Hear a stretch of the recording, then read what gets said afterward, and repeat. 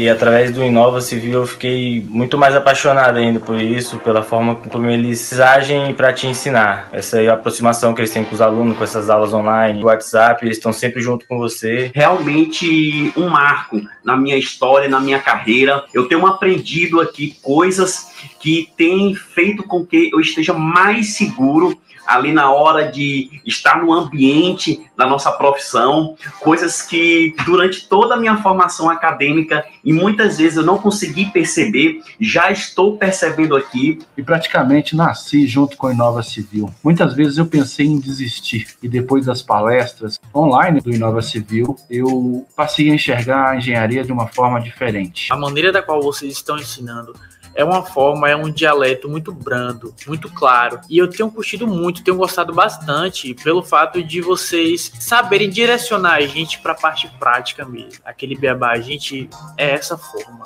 É a melhor forma de se fazer, faça assim. Eles pensaram justamente em preencher essa lacuna, em que o graduando de engenharia civil Assim, logo que sai formado, ele precisa de conceitos, de teorias, para que consiga, assim, desenvolver esta segurança para tomadas de decisões assertivas. Uma outra coisa, assim, que para mim foi crucial para continuar o curso foi a atenção aí da galera, do pessoal aí do Inova, com necessidades, com aquilo que eu preciso. Então, assim, isso realmente fez muita diferença, assim, o carinho e atendimento, assim, exclusivo, sabe? Levando em consideração cada indivíduo. É de pessoas assim que a gente precisa para mudar a engenharia civil no Brasil são pessoas que tenham a iniciativa como a de vocês, de se fazer realmente um curso com qualidade, com preço justo. Eu queria deixar registrado aqui também os meus agradecimentos e elogios a toda a equipe da Inova, extremamente profissional e sempre muito próxima do aluno, isso faz toda a diferença. E quero agradecer a vocês por essa oportunidade,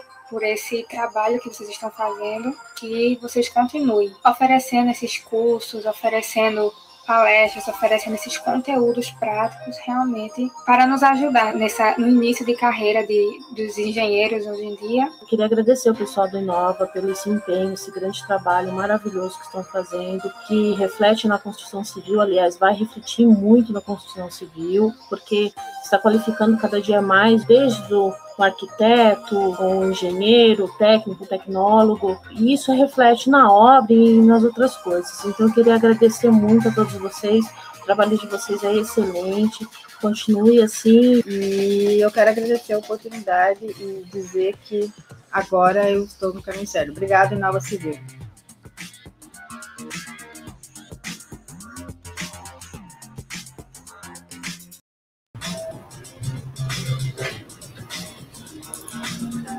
Bom dia, navegantes. Bom dia, mais uma palestra de Engenharia do Congresso de Inovação e Engenharia do Inova Civil. E eu quero saber quem já está aí online, já fala de onde você está falando, às 9 horas da manhã de quarta-feira. Me diga aí, fala no chat. Vamos que vamos, pessoal. Sejam bem-vindos a mais uma palestra e vai ser um espetáculo ter vocês aqui com a gente. Bora! Hoje é o último dia do congresso, está sendo punk. Cinco palestras por dia, hoje tem as últimas cinco. E, e, vamos concluir com força total as 15 palestras. Triunfo Pernambuco, 14 graus. Diva do Mato Grosso, Manaus, Rio de Janeiro, Ilhéus, Guarulhos, Rio de Janeiro. Bom dia, já faço parte da equipe a partir de hoje. Bem-vindo ao Acesso Prêmio, Antônio Carlos. Marcelo Lime... Seviero, Limeira, São Paulo. José Ricardo Araújo, Barra Mansa. Gente, hoje é uma palestra muito, muito, muito, muito especial de estimativa de custo, porque além dela abrir muito a cabeça de, do engenheiro civil que deseja entender mais como estimar ali um preço rápido, vamos dizer que um, um cliente chega para ti e fala: ah, mas eu quero saber quanto é que vai custar. Quanto é que vai custar esse teu projeto? E aí você não sabe nem responder assim de paybuff, você não sabe nem dar uma estimativa, uma ordem de grandeza. Isso pode te prejudicar na hora de passar uma confiança bacana. Então, esse, essa palestra tem o objetivo de te ensinar como você vai rapidamente estimar de uma forma semi-precisa o custo da sua obra. Dá uma, um erro aí de 15% a 20%, mas você tem uma boa ordem de grandeza. Esse é o orçamento paramétrico e esse foi o primeiro treinamento do Inova Civil do Acesso Prêmio. A gente começou o Acesso Prêmio ano passado, desde então todo mês vem tendo curso, então já tem diversos cursos lá dentro. E o primeiro curso foi de orçamento paramétrico e foi um baita sucesso. Então, muito bacana poder compartilhar com vocês a primeira palestra do, de, de abertura do acesso prêmio, a estimativa de custos com Akiro Shikushi. E ela não foi escolhida por acaso, era um conteúdo que muitos engenheiros pediam no Nova Civil. Então, a gente trouxe para mostrar para vocês o, o, como realizar uma orçamentação paramétrica. Existem vários tipos de orçamento, o Akiro vai explicar um pouco mais aqui na palestra, então você vai entender direitinho o funcionamento de todos. Aí, para dar continuidade, a gente lançou também lá dentro da plataforma o treinamento Fórmula de Orçamentação, que aí já não é paramétrico. No acesso premium, a gente tem o treinamento de orçamento completo mesmo, e de planejamento de obras, e de MS Project, e tá bem bacana. Então, eu vou colocar aqui sem mais delongas. Gente, ah, lembrando, saiam do celular, quem tiver no celular. Essa palestra definitivamente não é recomendada para ver no celular. Coloquem no computador, coloquem na televisão, porque tem muita letrinha, tem muito número, é planilha e é coisa, é slide. Então, gente, tá um incrível. Então, recomendo que você vá para a televisão ou para o notebook. Beleza? Olha aí, Vomir, Vomir, sou de Erechim, já fazem dois meses faço parte do Acesso Prêmio. Vale a pena mesmo, muito bom. E as palestras estão sendo muito boas. Parabéns pela organização. Tamo juntos, Vomir. E lembrando que todo mundo que quiser entrar no Acesso Premium pode ter acesso a sete dias gratuitos.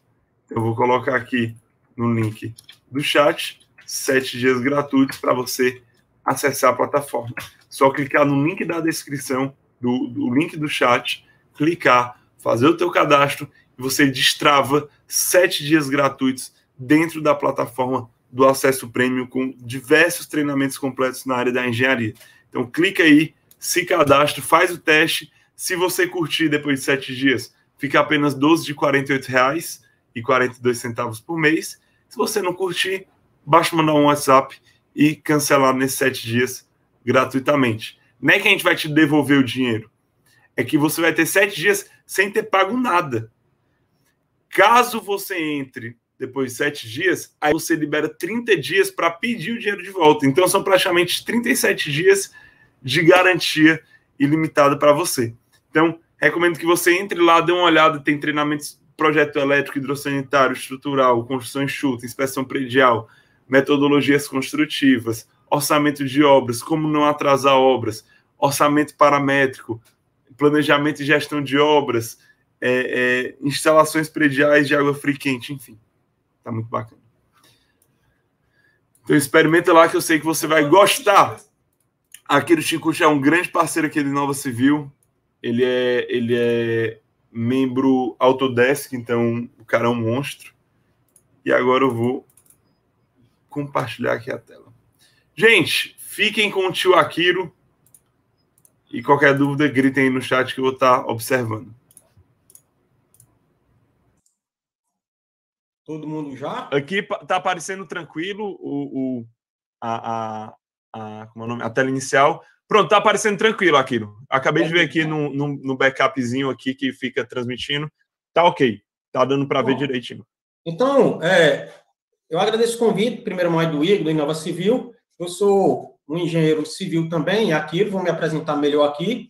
Sejam todos bem-vindos. E qual é a ideia desse mini curso rápido, digamos assim, dessa palestra aí, é mostrar um pouco da importância do engenheiro civil conhecer o orçamento paramétrico e, além de tudo, conhecer da parte teórica de orçamento, porque nem sempre no orçamento segue a mesma regra quando você vai trabalhar num orçamento para uma obra pública para uma obra privada. vou falar um pouquinho sobre isso, mas para quem é, não me conhece, eu sou graduado em engenharia civil, minha primeira graduação, né, 2006, por isso que eu disse que até que eu morei em Recife, né, fiz na UFPE, Depois, não satisfeito né, com os cálculos que a engenharia nos dá, eu fiz física e me especializei em física e matemática. Também sou especialista na área de engenharia civil, então eu, atuo nas duas áreas, né? Tanto na docência como engenharia civil. Sou formado em engenharia civil em física e tenho pós-graduação em física e matemática e engenharia civil em gestão de obra. Atualmente eu estou finalizando um MBA do Alexander Just, né, do Master in Authority, e sou docente na Faculdade Paraíso, na área de engenharia civil, sistemas. Eu também cursei sistemas na época da minha vida, né? Então, essa parte aí tecnológica e, e de cálculo eu gosto muito. E tenho um grande conhecimento exatamente em licitações de obras. E com esse meu conhecimento que eu obtive em licitações de obras, já que eu trabalhei minha vida toda em obra pública, eu também adquiri essa questão de conhecimento de orçamento. Tenho uma empresa Lunas Cursos, cursos também, e vamos começar a brincadeira, né? Então, a primeira questão que a gente sempre tem, né, é a conceituação do orçamento em si. Lembrando que o orçamento que eu vou citar aqui é voltado para o orçamento de construção civil, orçamento de obra. O orçamento ele pode ser utilizado para vários outros setores, né? Eu tenho o orçamento público, que é para a parte econômica de uma gestão, eu tenho orçamento para a área de construção civil, eu tenho orçamento para a área de arquitetura, para a área de é, medicina, para a área de odontologia, isso tudo, é, eles utilizam o orçamento, mas o que eu vou citar aqui é para parte mesmo de civil, né?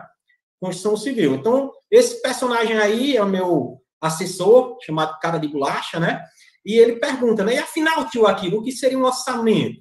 E tio Aquilo agora respondendo, para que vocês entendam a fundamentação do orçamento, eu englobei vários autores e, em resumo, o que seria? É você quantificar. Então, acima de tudo, você precisa entender que você tem que quantificar objetos. Então, você quantifica os insumos. E quando a gente fala insumos, a gente está se referindo a materiais, mão de obra e equipamentos. E, além disso, eu tenho que calcular custos desses insumos, os custos adicionais e o tempo. Então, eu teria mais ou menos esse esquemazinho que eu vou mostrar aqui agora. Quando a gente fala em insumo, você já tem que saber quem é orçamentista e quem for aí trabalhar na área, que a palavra insumo, ele já engloba materiais, mão de obra e equipamentos. E eu preciso levantar os custos que esses insumos possuem, são chamados custos diretos, mas além disso eu tenho que também estimar custos adicionais e tempo. Então, isso tudo que eu mostrei, ele só se refere a custos diretos, mas não adianta eu passar para o cliente apenas o que eu vou gastar para executar uma obra ou um serviço. Porque se você, um exemplo, você gasta 100 mil para executar o serviço, só considerando os insumos, e você repassa para o cliente esse valor, ele vai lhe dar os 100 mil, e como é que você vai pagar as contas adicionais que você vai ter? Então, isso tudo tem que ser pensado. O orçamentista tem que prever, além dos custos diretos, que são relacionados à obra-prima em si, né? E seu material, também teria que adicionar esses custos que são além dos diretos. E que custos seriam esses? Aí eu tenho aí alimentação, que vocês vão ver já, já que eu vou citar, internet, que eu utilizo na obra, as plotagens, isso tudo entra como custo adicional, beleza? Então tem um outro personagemzinho aqui que vai aparecer, que é o nenenzinho aqui, que ele pergunta, e para que, que eu preciso saber do tempo e os custos adicionais, né? O que seriam isso? Se eu estiver indo ligeiro demais, podem pedir aí para dar uma desacelerada aí, explicar, mas eu acho que. Não, tá tranquilo, tá tranquilo. Pode. Eu acho que o pessoal aqui prefere que você vá rápido e passe muito conteúdo. Quero Pronto, saber que. Tá na hora. Então, pode, ó, pode, pode é, é, terminar a parte teórica e lotar de conteúdo prático, que é o que o pessoal gosta aí. Pronto. Então, para que, que um orçamentista precisa saber do tempo, pessoal? O que seria o tempo de execução e o que isso interfere? Então, vamos por parte. Esse é o cronograma físico-financeiro. Ele é um cronograma, como o nome diz, que ele já faz a estimativa do físico junto com o financeiro. Então, o tempo da execução da obra é um parâmetro que eu preciso entender na hora que eu vou orçar. Por quê? Porque se eu faço uma previsão de um orçamento para elevar uma estrutura e essa obra vai durar dois anos, eu tenho que prever que vai existir alterações de custos. Então, o tempo que você joga dentro do meu orçamento é essencial para que você tenha uma estimativa e um levantamento bom. Porque, caso contrário, você vai fazer com que esse custo que você levantou se defase, né? durante esse tempo e essa defasagem vai dar um rombo muito grande lá no final. Então, esse cronograma financeiro, ele indica o quê? Ele indica o percentual que vai ser executado por tempo, pode ser quinzenal, semanalmente. Tradicionalmente, a gente utiliza mensal, tem 30 dias, e eu tenho as etapas da obra. Então, o que é que eu estou mostrando aqui? Que meus serviços preliminares, eles vão ter aqui 13 mil para ser gasto mais ou menos, e nos 30 primeiros dias eu já teria que executar 100% disso. Então, meu cronograma financeiro, para o cliente, serve para quê?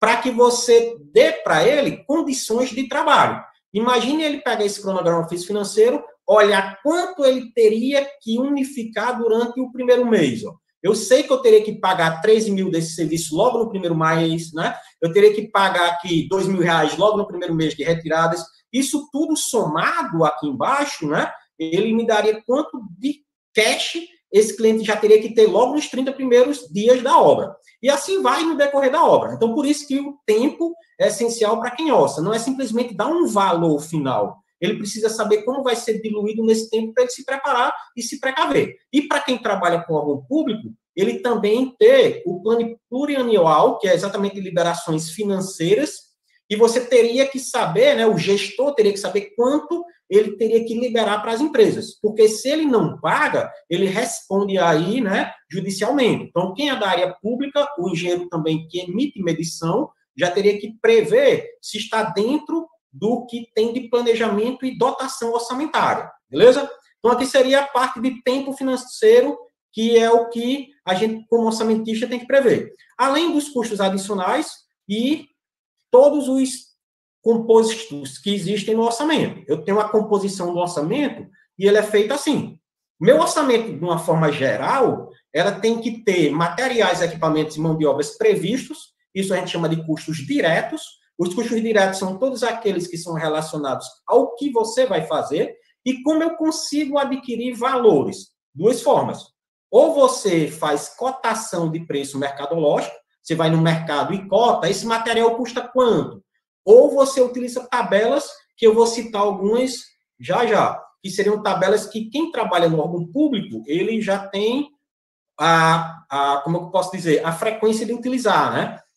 Então, o equipamento é cotado e vocês têm que tomar cuidado com mão de obra. Mão de obra não pode sair fazendo cotação, não, pessoal. É muito comum você simplesmente chegar e fazer aquela tal da empeleita, né? Que o pessoal chama, a empreitada, né? Se você fizer isso, você pode responder futuramente no Ministério do Trabalho, porque esse salário que você paga da mão de obra, ele é sindicalizado. Ele tem um salário mínimo para ser repassado. E muita gente faz o tal da empeleita, correndo o risco de ser colocado na justiça após a obra terminar, porque você não pagou o piso dessa mão de obra, entendeu?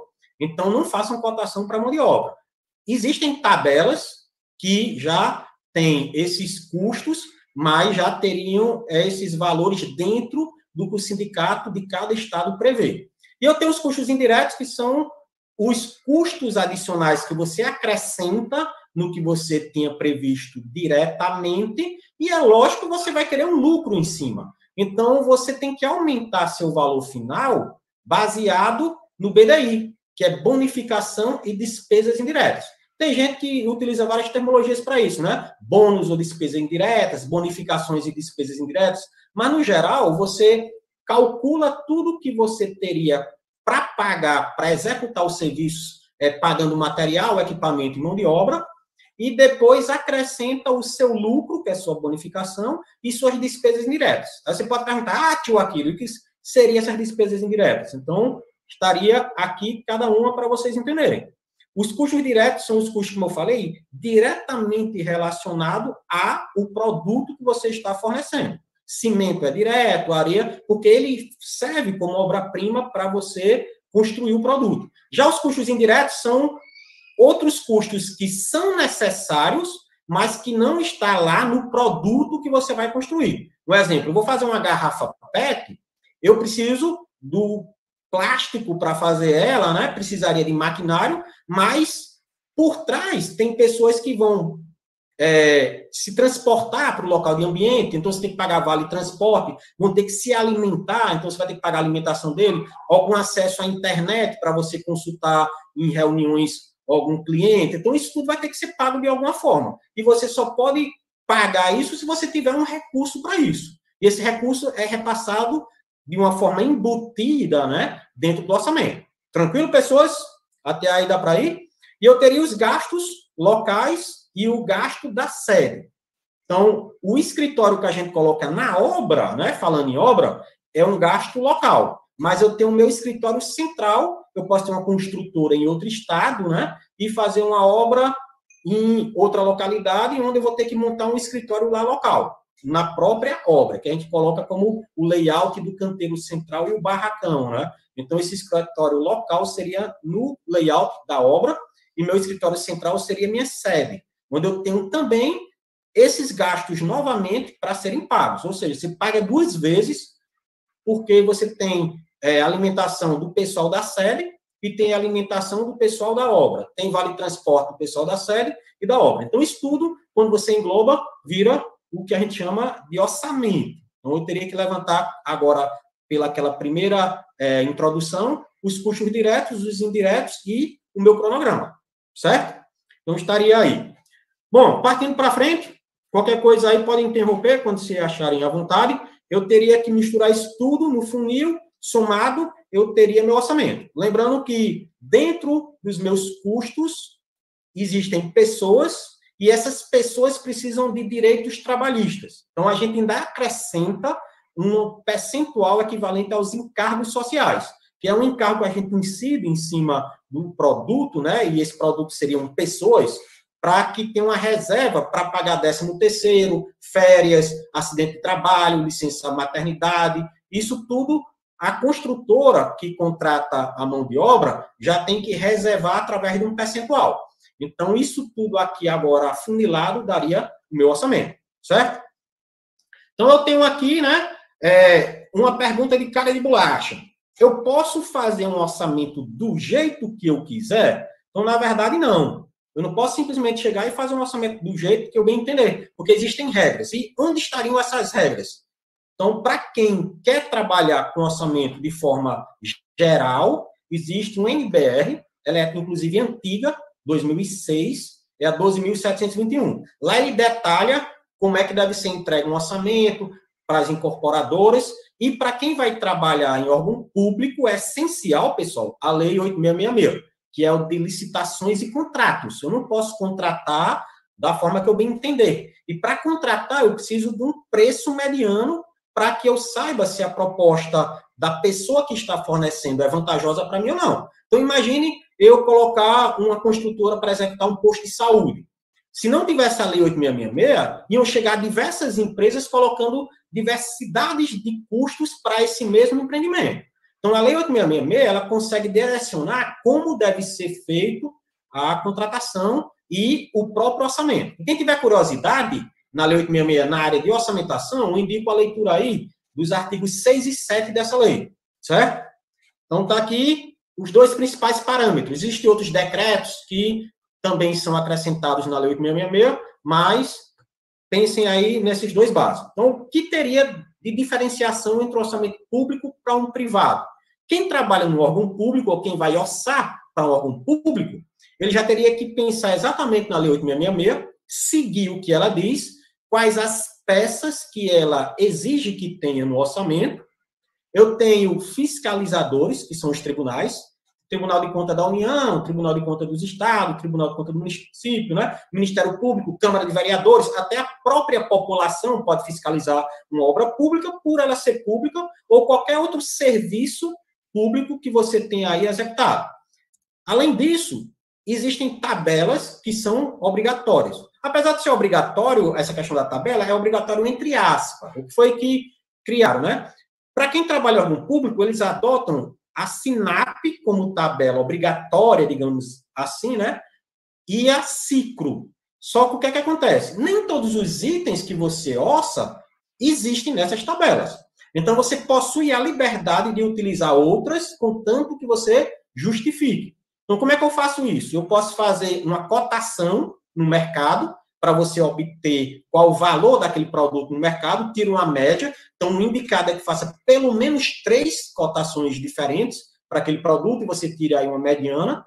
E eu tenho outras tabelas além dessas. Eu tenho o CENFRA para o estado de Ceará, tem OS, tem CAIMA, tem, cada estado tem a sua tabela de custos e vocês podem utilizar e consultar. Mas, de uma forma geral, a lei exige que você utilize a SINAP para toda obra que seja financiada pela União, certo?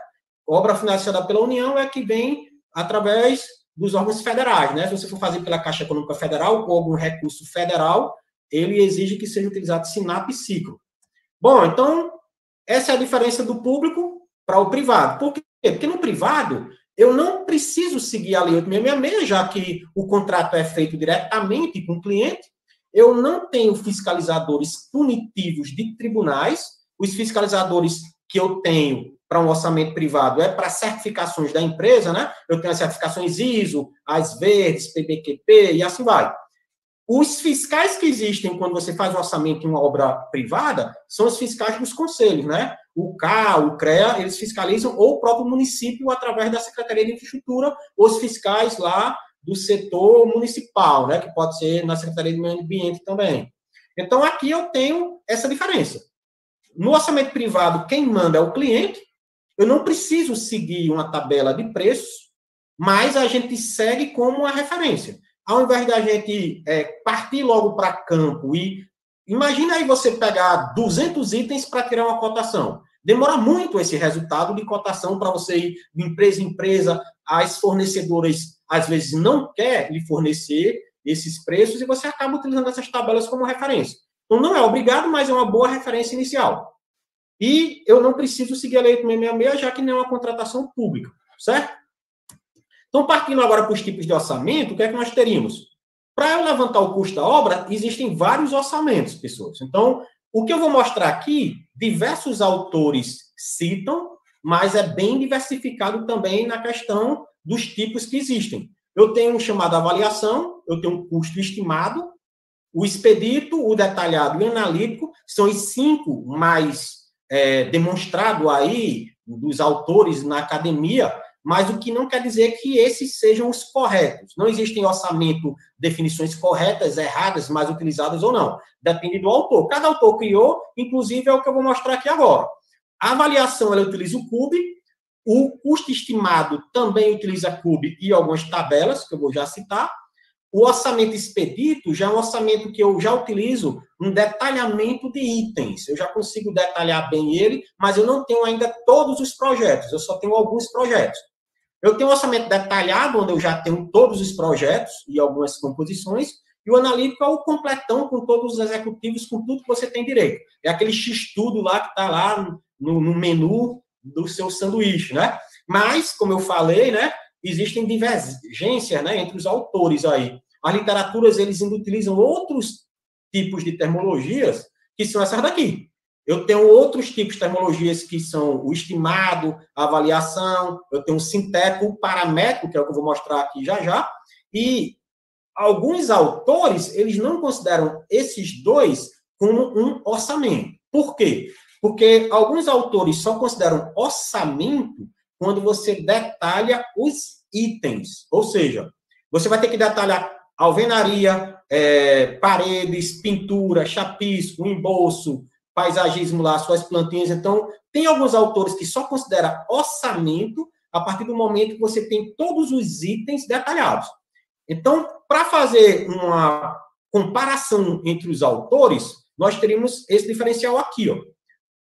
Nos autores, eles só dizem que existem três tipos de orçamento. Seria esse orçamento aqui, que seria mais ou menos esses dois, que é o paramétrico que eu vou mostrar, ou alguns chamam de sintético. Esse daqui, ele é chamado de orçamento preliminar por alguns autores, onde você pega alguns projetos e faz alguns levantamentos, não com todos os projetos executivos, dá para você prever quantitativos só com alguns projetos, principalmente o arquitetônico, né? E esses dois aqui é que ele chama de orçamento analítico. Então, alguns autores só utilizam esses três tipos de orçamento: paramétrico, preliminar ou analítico. Alguns chamam o paramétrico de avaliação de custo, outros chamam de estimativo e outros chamam de estimativa de custo. Então, para vocês verem que até hoje não existe nenhuma convergência entre as denominações dos orçamentos. Esse que eu mostrei é o mais generalizado, até para vocês perceberem um conteúdo maior e o que vocês vão ver aí no mercado. Mas eu tentei aqui englobar todos para que vocês saibam que não existe aí um autor que falou errado, não. Ele adotou um determinado tipo. E para falar aqui em alguns autores, né, para quem quiser seguir, né, algumas leituras, eu indico aí esses autores principais. O Aldo Doria Matos é a nossa referência aí brasileira, da PINE, né? Para quem quer fazer um orçamento voltado à área de terraplanagem, a parte de aluguel de maquinário eu, ou estradas, né? Eu indico o Shine Mundrik. Gustavo Martins também tem é, uns é, canais e, e, materiais de orçamento. O Pacchioni Baeta eu indico para quem quer fazer orçamentação para o setor público. Ele, inclusive, trabalha no setor público da União e ele escreveu esse livro baseado na Lei 8666 e os orçamentos e as falhas que existiam, né? Bem interessante. E o Murilo Reis, né? Que é bem conhecido também. Certo? Até aí, estamos tranquilos?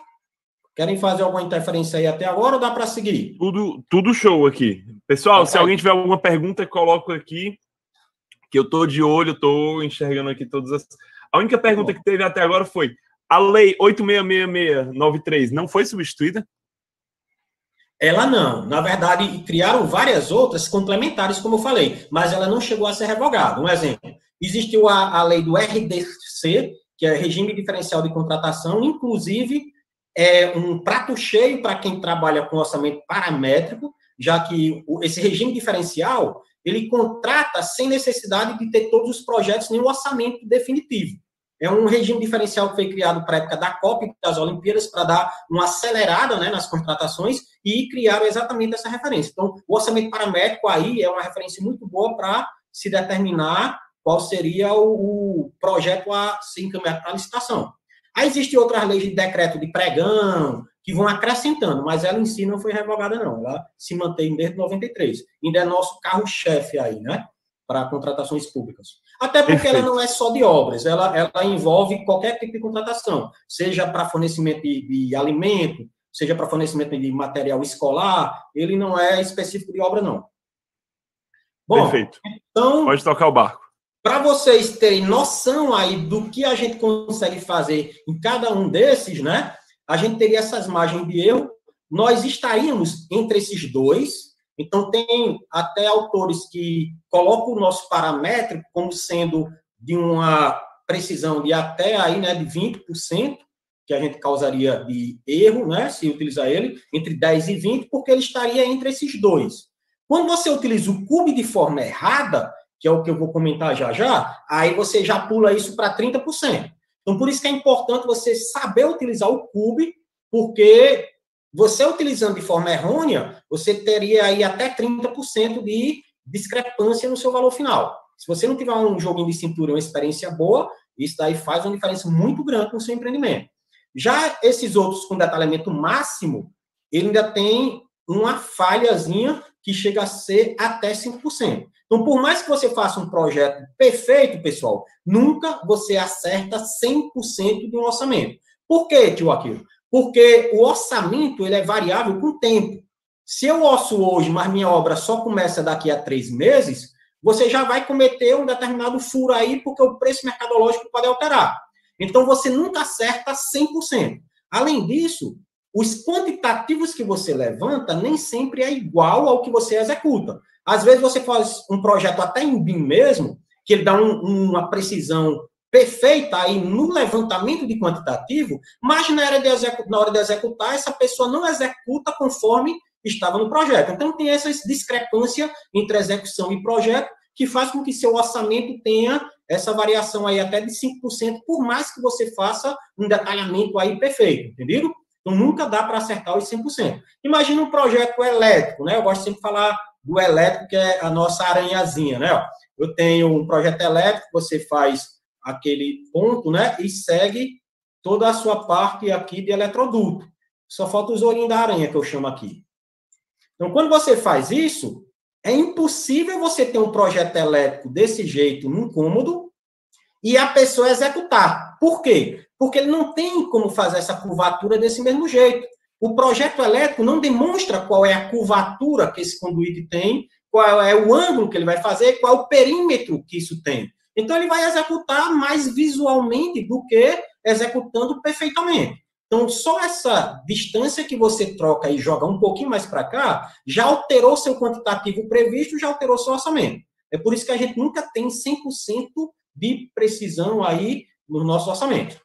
Então, seguindo, o que é que nós teríamos? O nosso orçamento paramétrico, mais ou menos dentro dessa faixa aí. Essa faixa, ela teria mais ou menos aí, como eu falei, entre 10% e 20% de estimativa de erro, e a gente faz baseado no CUB, que eu vou trocar a telinha e mostrar já já. Então, quais seriam as vantagens do orçamento paramétrico? Esse orçamento paramétrico englobaria exatamente a nossa fluidez, né, de ser mais rápido, e o que seria esse orçamento paramétrico? O orçamento paramétrico é um tipo de orçamento que ele utiliza de banco de dados de outras obras parecidas, e essas obras elas teriam parâmetros iguais, digamos assim, ao que você vai utilizar, e você acaba fazendo aí uma média, uma mediana para utilizar como sua referência. Então, existem já vários materiais que eu vou demonstrar agora que fornecem esse CUB, que é custo unitário básico da construção, e, inclusive, existem materiais é, estaduais e regionais. E quais seriam as vantagens? As vantagens é a rapidez que você dá esse retorno para o cliente, você não tem muita enrolação, você já pega o seu objeto, já olha qual é a área, faz equivalência e simplesmente já em pouco tempo aí consegue estimar esse valor. Dependendo, lógico, do porte da obra. Né? Se você tem um empreendimento aí de uma imobiliária, um condomínio grande, você vai ter que fazer pedaço por pedaço, depois englobar tudo. Então, varia muito nesse sentido. Tenho como fazer esse estudo de viabilidade financeira logo para meu cliente. Eu posso utilizar futuramente para novas referências. Você, quanto mais orçamento paramétrico você faz, mais banco de dados você vai ter para utilizar futuramente. E como eu tinha falado anteriormente sobre a lei, ele serve como parâmetro para o RDC e para convênios públicos. Para um gestor já saber quanto ele solicita no seu plano de convênio, que a gente chama, né, nos ministérios, quanto eu vou solicitar. Porque, para quem não entende o procedimento do órgão público, não chega dinheiro de uma hora para outra, assim, no município ou no estado, não. Você tem que solicitar nos ministérios e já tem que dizer para que vai utilizar e dar uma estimativa de valor. Então, se você diz, ah, eu quero dinheiro para fazer uma escola, não é simplesmente assim que acontece. O gestor, que pode ser o secretário ou o prefeito ou o governador, ele vai ter que avisar qual o valor que essa escola que você está prevendo construir vai ter que ter. Então, simplesmente você não tem ainda o projeto e dá para fazer um paramétrico para você já ter essa estimativa e mandar para o ministério que você está querendo solicitar o recurso. Então, o ministério recebe seu plano de trabalho, já tem um valor lá mais ou menos estimado e você consegue liberar financeiramente sem ter todos os projetos ainda definidos. Não é assim mais ou menos que funciona o órgão público. Vou pedir permissão aqui agora para eu trocar essa telinha aí, só um instante, pessoal. Vou projetar agora para a gente começar a brincadeira, certo? Então, quem tiver aí dúvida, quiser falar, fique à vontade. Eu vou abrir aqui primeiro o nosso Google, esperar só projetar aí para vocês. Quando... Está me escutando? Deu certo aí? Escutando? Tô sim, tá. Deu certo aí? Tá projetado? Deixa eu, te deixa só é, é, uma coisa que muita gente pergunta na área de. Tá me escutando bem? Tá tranquilo? Ah, sim, tá tranquilo, pode falar. Pronto. Uma coisa que muita gente pergunta é em relação ao a rapidez de dar alguma informação para o cliente, né? Porque às vezes o cliente ele chega e pergunta, certo? E quanto é que isso vai custar para o projetista?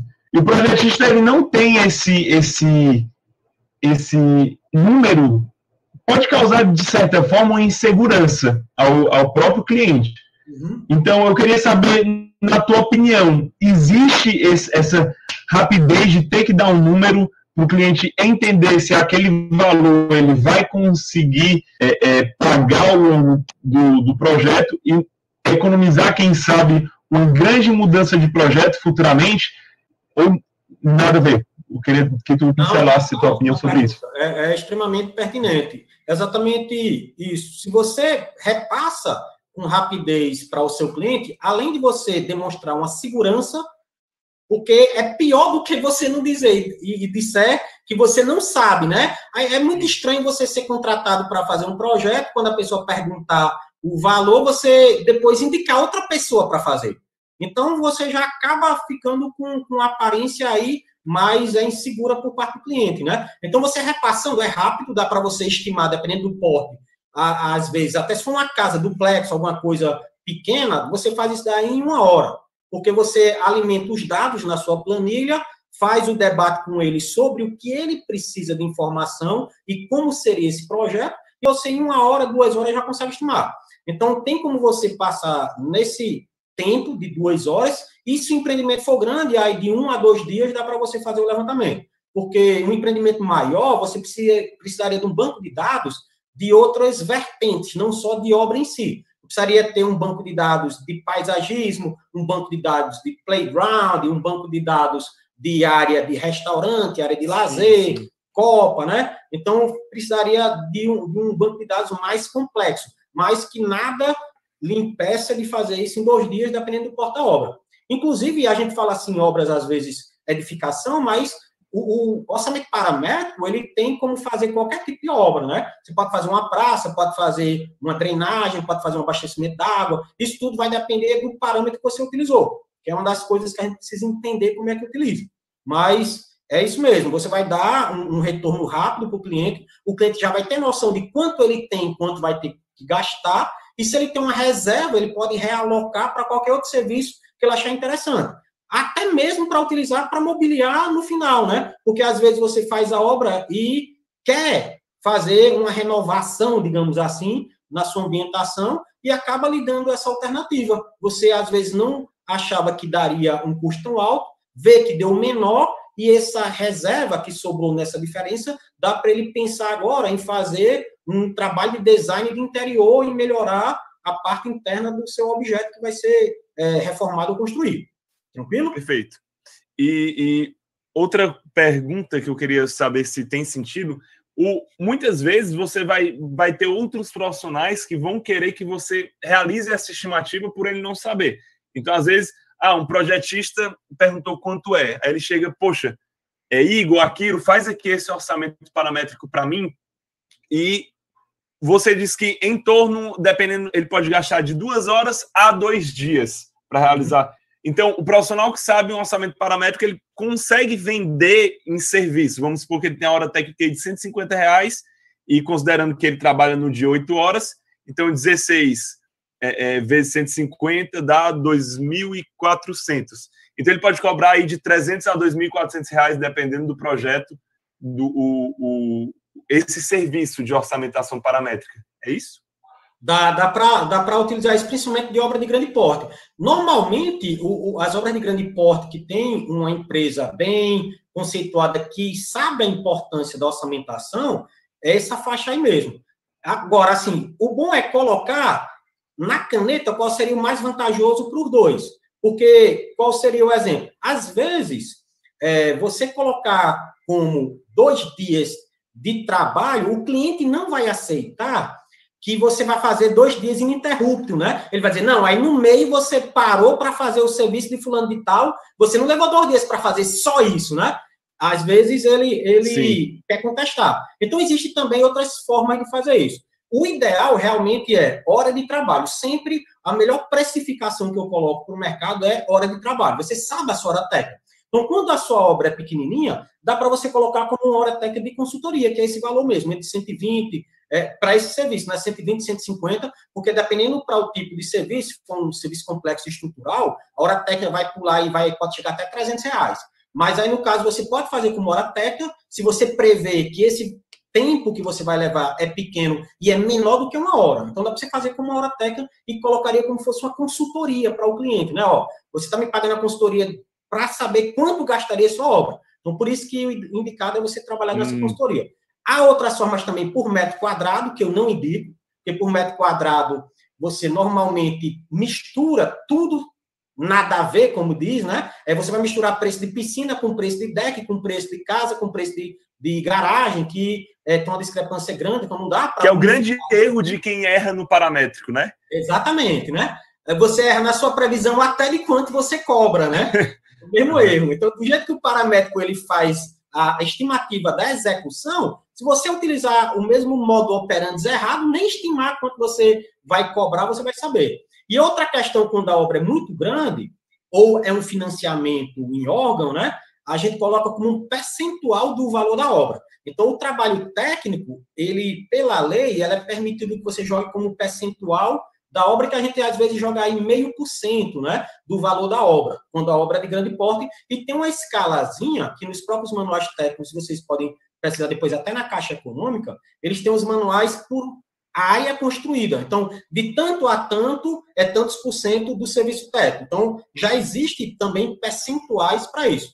Então, em resumo, existem três formas de precificação: por metro quadrado, por hora técnica e por, é, por essa questão que você teria, que eu comentei nas tabelas, né, de percentuais. Então, percentual, cub e é, hora técnica, beleza? Mas e outra vantagem, outra vantagem, né, Akiro, do, do orçamento paramétrico, antes de ir para a prática mesmo aí, é, deve ser muito bom para o engenheiro civil ele passar assim, olhar um terreno, imaginar um pouquinho assim o, o, o, o aspecto, rapaz, será que tal obra daria certo aqui?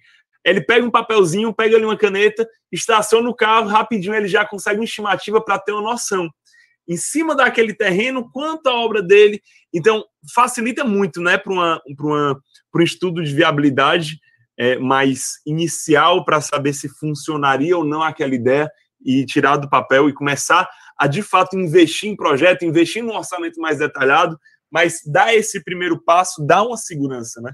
Dá, dá, com certeza. E é bem rápido, como eu falei, para determinados casos, principalmente se for uma obra de pequeno porte, residencial, que a maioria dos clubes são para edificação, é bem mais fácil você ter um banco de dados para edificação, e só o que existe na internet que eu vou mostrar aqui agora é isso. Então, facilita bastante, como eu falei, de determinados casos, você faz em menos de uma hora. E você vê lá, senta com o cliente. Vou mostrar uma simulação aqui agora, para você fazer como se não tivesse nada. É aquela questão do terreno. É, você tem um terreno e seu cliente pergunta quanto vai gastar na obra. E só dá o tamanho do lote, né? Ah, meu lote é 10 por 25, 250 metros quadrados. Quanto eu vou gastar na minha obra? Você nem sabe o tamanho construído e ele já quer saber, né? Só dando o terreno. Então, eu vou mostrar exatamente a simulação. Não, pronto. Perfeito. E aí vai, vai dizendo também, Akiro, se possível aí, durante onde o pessoal costuma errar muito. Uhum, certo. Bom, então vamos lá. Primeiro, eu vou mostrar que vocês podem consultar aqui, bem rápido no navegador. Aqui eu tenho o custo para cada Desculpa, obra. só uma coisa que eu esqueci de, de falar. Pessoal, quem estiver assistindo, clique em gostei aí. Tem 146 pessoas assistindo e 69 curtidas. Então, clique aí no like, no botãozinho do gostei e se inscreva no canal. A gente chegou nessa semana em 20 mil inscritos para a gente é, é, continuar trazendo esses conteúdos de qualidade para você. Então, clique em gostei, se inscreve no canal, que ajuda muito a divulgação do vídeo, a divulgação do canal e a manutenção desses vídeos. E você será avisado, né? Quando sair alguma palestra, sair algum conteúdo novo sobre é, é, algum conteúdo interessante que você acha da construção, você será avisado. Então, mete o dedo no like aí e se inscreve no canal. Valeu, Akiro. Até mais. Bom, então, é, para mostrar aqui como funciona, eu posso pesquisar aqui por etapa de obra, ser uma etapa posterior, vamos começar do zero, como eu sempre falo, né? Do princípio, do início da gênese, do começo do start, né? E como gerou o mundo. Se eu vier aqui... Rapaz, aí foi do começo, viu? Oi, assim, CUB. CUB é custo unitário básico de construção. Então, o primeiro site que eu posso pegar é do CUB mesmo, esse é generalizado. Clicando aqui, olha que interessante, você vai ter a NBR que eu falei, aqui a indicação dela, você pode até pesquisar por fora, ela já indica aqui ela, né? E olha como funciona. Você já pode clicar aqui e pegar o CUB por estado. Além disso, existem as cartilhas do CUB, que é essa que eu vou mostrar agora, mais ou menos, para vocês entenderem. Porque nessa cartilha aqui, ele já tem todo o material já englobado, bem é, desmiuçado, né? E unificado. Então, quando você clica aqui nessa cartilha, eu já tenho aqui os aspectos aqui embaixo, se vier, vai mostrar aqui embaixo da cartilha. E eu tenho ela toda detalhada de cubes. Lógico que você tem vários estados. Essa cartilha aqui foi de Minas Gerais. O interessante é que você entre no Sinduscom do seu estado, que eu vou mostrar já já.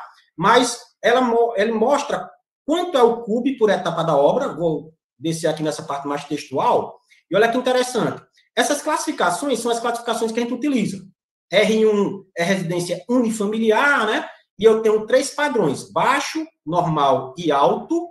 Ele vai demonstrar o que é o baixo, o que é o normal e o que é o alto. Isso tudo, pessoal, é um englobado do que tem nessa norma aqui que eu falei. Você pegar essa norma, você vai ter tudo isso lá, só que aqui está bem desmiuçado. Eu tenho também cubes, não só residenciais, mas comerciais, ó. Eu tenho um comercial com andar livre, ou salas e lojas. Qual a ideia do comercial andar livre? É quando você tem aquelas lojas, né, que são abertas e o pessoal aluga para você depois fazer a divisória. São aqueles prédios comerciais abertos, com andar livre, como o nome já está dizendo, né? E você aluga e você depois faz sua própria divisão do seu empreendimento. E eu tenho também os com lojas já divididas. Então, isso tudo faz com que seu custo unitário básico sejam alterados. Eu tenho residências pequenas e galpões. Então, olhando aqui, ó, ele já define qual foi o banco de dados que ele utilizou. Então, quando ele chama de R1B, que é o residencial unifamiliar de padrão baixo, ele foi feito com um pavimento, com dois dormitórios, uma sala, área real e área equivalente. Então, é isso aqui que tem, agora que vocês aprenderem como o pulo do gato, que a gente chama, né? o segredo do sucesso. O projeto arquitetônico em si apresenta uma área construída, que seria minha área real. Mas na hora de fazer o cálculo, eu não posso usar área real. Por quê? Porque se eu pego o meu cube, que eu vou já mostrar, e multiplico, eu estou dizendo que minhas áreas abertas têm o mesmo gasto da minha área interna da minha edificação. E a gente sabe que cada ambiente possui acabamentos diferentes, outros nem possuem acabamento, outros são abertos, outros são fechados, e é injusto que eu multiplique um cubo unificado para a minha área total. Por isso que ele já dá a minha área equivalente. Só que essa área equivalente só serve para esse valor aqui. Aí você pergunta, ah, tio Aquilo, minha área não tem 58 metros quadrados, minha área tem 70. Qual seria a minha área equivalente? Aí é aqui que eu vou mostrar essa diferença. Então, aqui tem todas as áreas, todos os galpões, ó, do que ele tem na norma como referência. E aqui ele tem os padrões, certo? Alto, que é médio, que é baixo. Quais seriam os padrões de acabamento? Só que eu faço outra ressalva. SNBR de 2006, pessoal. Então, é mais uma experiência que vocês precisam ter e entendimento da sua racionalidade. Quando você faz o padrão alto aqui, vocês vão perceber que, por ser 2006, o material de acabamento não é tão alto como nós temos hoje. Então, isso já dá uma discrepância, mesmo você utilizando o cube atualmente. Ó, o que ele chama de alto é uma cerâmica esmaltada, tá vendo? Ó? E hoje a gente sabe que cerâmica esmaltada não é mais um parâmetro de insumo de luxo.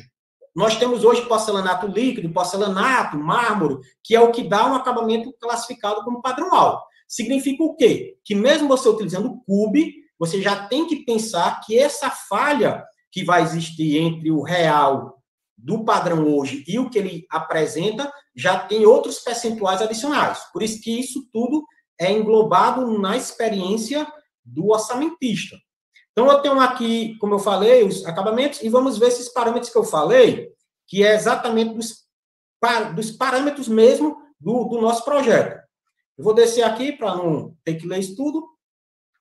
E a gente vai ver o percentual que eles utilizam para cada tipo de estrutura. Esse percentual está no item 5.3 da NBR. Vou descer aqui ligeirinho. Pronto, está aqui. Ó. Então, o que é que acontece? Ó? É, eu tenho os valores de cada CUB participativo né, em percentuais por estado, por Sinduscom. Então, ele tem uma média nacional e olha quanto um está discrepante em relação ao outro em percentuais aqui. E eu tenho também a questão dos meus cálculos, que eu vou mostrar aqui das minhas plantinhas. Ó. Essas são as plantinhas que eles utilizavam. Então, quando você pega uma planta, a primeira coisa que você tem que identificar é quarto seria pavimento normal, todo tipo que a gente chama.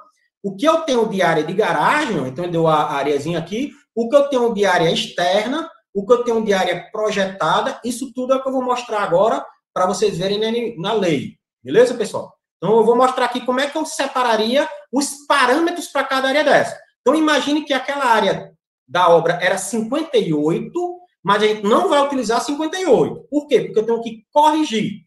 Ah, tio Aquilo, como é que corrige? Aí eu vou mostrar aqui agora. Aqui está a nossa NBR, certo? Aqueles mesmos itens que estariam naquela cartilha está aqui também. E eu vou mostrar agora no item 5 que eu mostrei. Ó. Aqui seriam os meus coeficientes que eu vou ter que ter. Ó. Eu tenho área aqui, ele fala do que é área privativa, o que é área coberta, descoberta, certo? E os coeficientes para cada ambiente. Ó. Então, o que é que significa? Quando eu for utilizar a área da garagem, eu não vou multiplicar ela por 1. 1 é nosso padrão de cube. Então, a gente só utiliza o valor de cube que está lá para a área construída de fato, entendeu? Então, a área interna, o pavimento tipo, ele é multiplicado pelo peso 1. Mas a minha garagem, ele não gasta igual a parte interna. Então, você pode adotar um valor entre meio e 75. A mesma coisa existe em áreas de lojas sem acabamento. Você não vai multiplicar diretamente pela área da loja. E é essa falha que o pessoal comete. O pessoal simplesmente pega o cube por metro quadrado e multiplica pela área real que está no projeto arquitetônico. Isso é a falha que eles cometem. Não faz essa correção aqui baseado em cada areazinha. Então, você tem que separar baseado no que a norma diz ó, e fazer essa equiparação e depois somar tudo. Tranquilo? Então, aqui estaria as nossas areazinhas. Então, além disso, olha que interessante que a norma dá. Quando você tem o seu parâmetro de tipo, eu consigo, além da estimativa de custo, eu consigo a estimativa de quantidades de materiais por metro quadrado. Essa parte aqui é que eu acho show aqui da NBR. Olha aqui, ó. Por metro quadrado de construção de uma residência, para o padrão baixo, se eu quero estimar quanto de chapa de forma eu vou gastar, ele vai gastar esse valor aqui de 2,06 mais ou menos metro quadrado de forma para cada metro quadrado de área construída. Então, aqui já dá para você estimar até os quantitativos por padrão de acabamento, qual a quantidade de aço, de concreto, de cimento, só pelo metro quadrado da sua área, da sua edificação. Olha que potência vocês têm aí na mão se vocês sabem utilizar a cimentação paramétrica e a NBR 12.721. Então, tranquilo aqui? Vamos partir agora para um exemplo mais prático. Trocar aqui. Então, para quem quiser achar o Cube, pessoal, vamos lá. Vamos aqui no Google de novo. Vou botar aqui Google. E você simplesmente vai botar. Quem for do Ceará, né? Tem um Sinduscom para cada, cada estado. Você pode botar Cube, Sinduscom. E eu vou escolher o Ceará, que é o meu estado, né? Estou aqui atualmente. E ele dá aqui o valor de cubes por mês. Então, a lei, desde 64, exige que os sindicatos é, disponibilizem mensalmente cubes, pessoal. Então, você ter uma ideia, mensalmente cada sindicato tem que disponibilizar para o seu estado o cube para você utilizar. Isso é mensal. Então, eu vou clicar aqui em maio para vocês verem, e quando eu clico, ele faz o download do meu cube. Eu não vou é, fazer aqui a descompactação para vocês, vocês devem não estar vendo, né? Mas vou projetar aqui só já já os valores. Vou projetar aqui, só para a gente ver o que seria quantificado, né? Bom, é, como é que tá a visibilidade de vocês? Vocês estão vendo o Cube aí ou tá na... tu, tá, tu tá no site Cube ABNT, fundado Bom, em 1940. Exato. Fiz o download, vou projetar agora para vocês. Vou trocar aqui a telinha e mostrar para vocês o Cube. Eu vou mostrar o Cube aqui agora aberto. Eu fiz um download para ia demorar para não ficar... Mas eu acho que o download não está aparecendo. Tá, ainda está na tela da internet. É, porque fez o download. Eu abri agora. Eu tô ah, pronto, pronto. Está aberto, está aberto. Show. Aí eu já fiz o download agora e já abri para vocês verem. Então, quando você abre, tem um Cube lá. Ó. Olha que interessante. Isso é Ceará, pessoal. Então, Ceará já de maio, ó. Então, foi o último que saiu. Esse Cube, ele já dá o valor por metro quadrado, ó. Então, você já sabe quanto você gastaria por metro quadrado para esse tipo de edificação R1.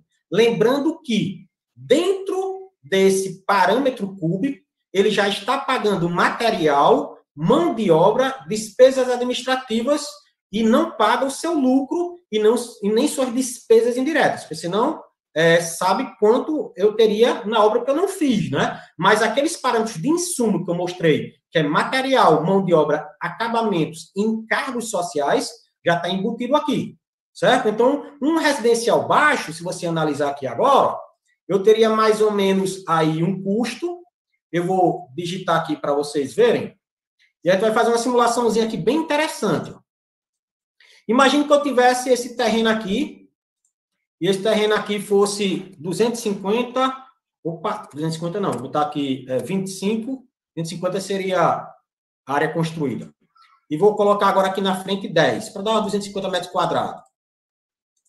Aqui fazer na mão mesmo, munheca. Beleza? Então, 10 por 25. Isso um terreno, pessoal. Então, quando você vai calcular o cubo, eu não preciso da área do terreno, eu preciso da área construída. Aí você diz, ah, tio Aquilo, como é que eu vou fazer agora? O cliente chegou em mim, perguntou quanto eu vou gastar na obra dele, ele só me deu a área do terreno. Aí eu vou dar a dica aí do tio.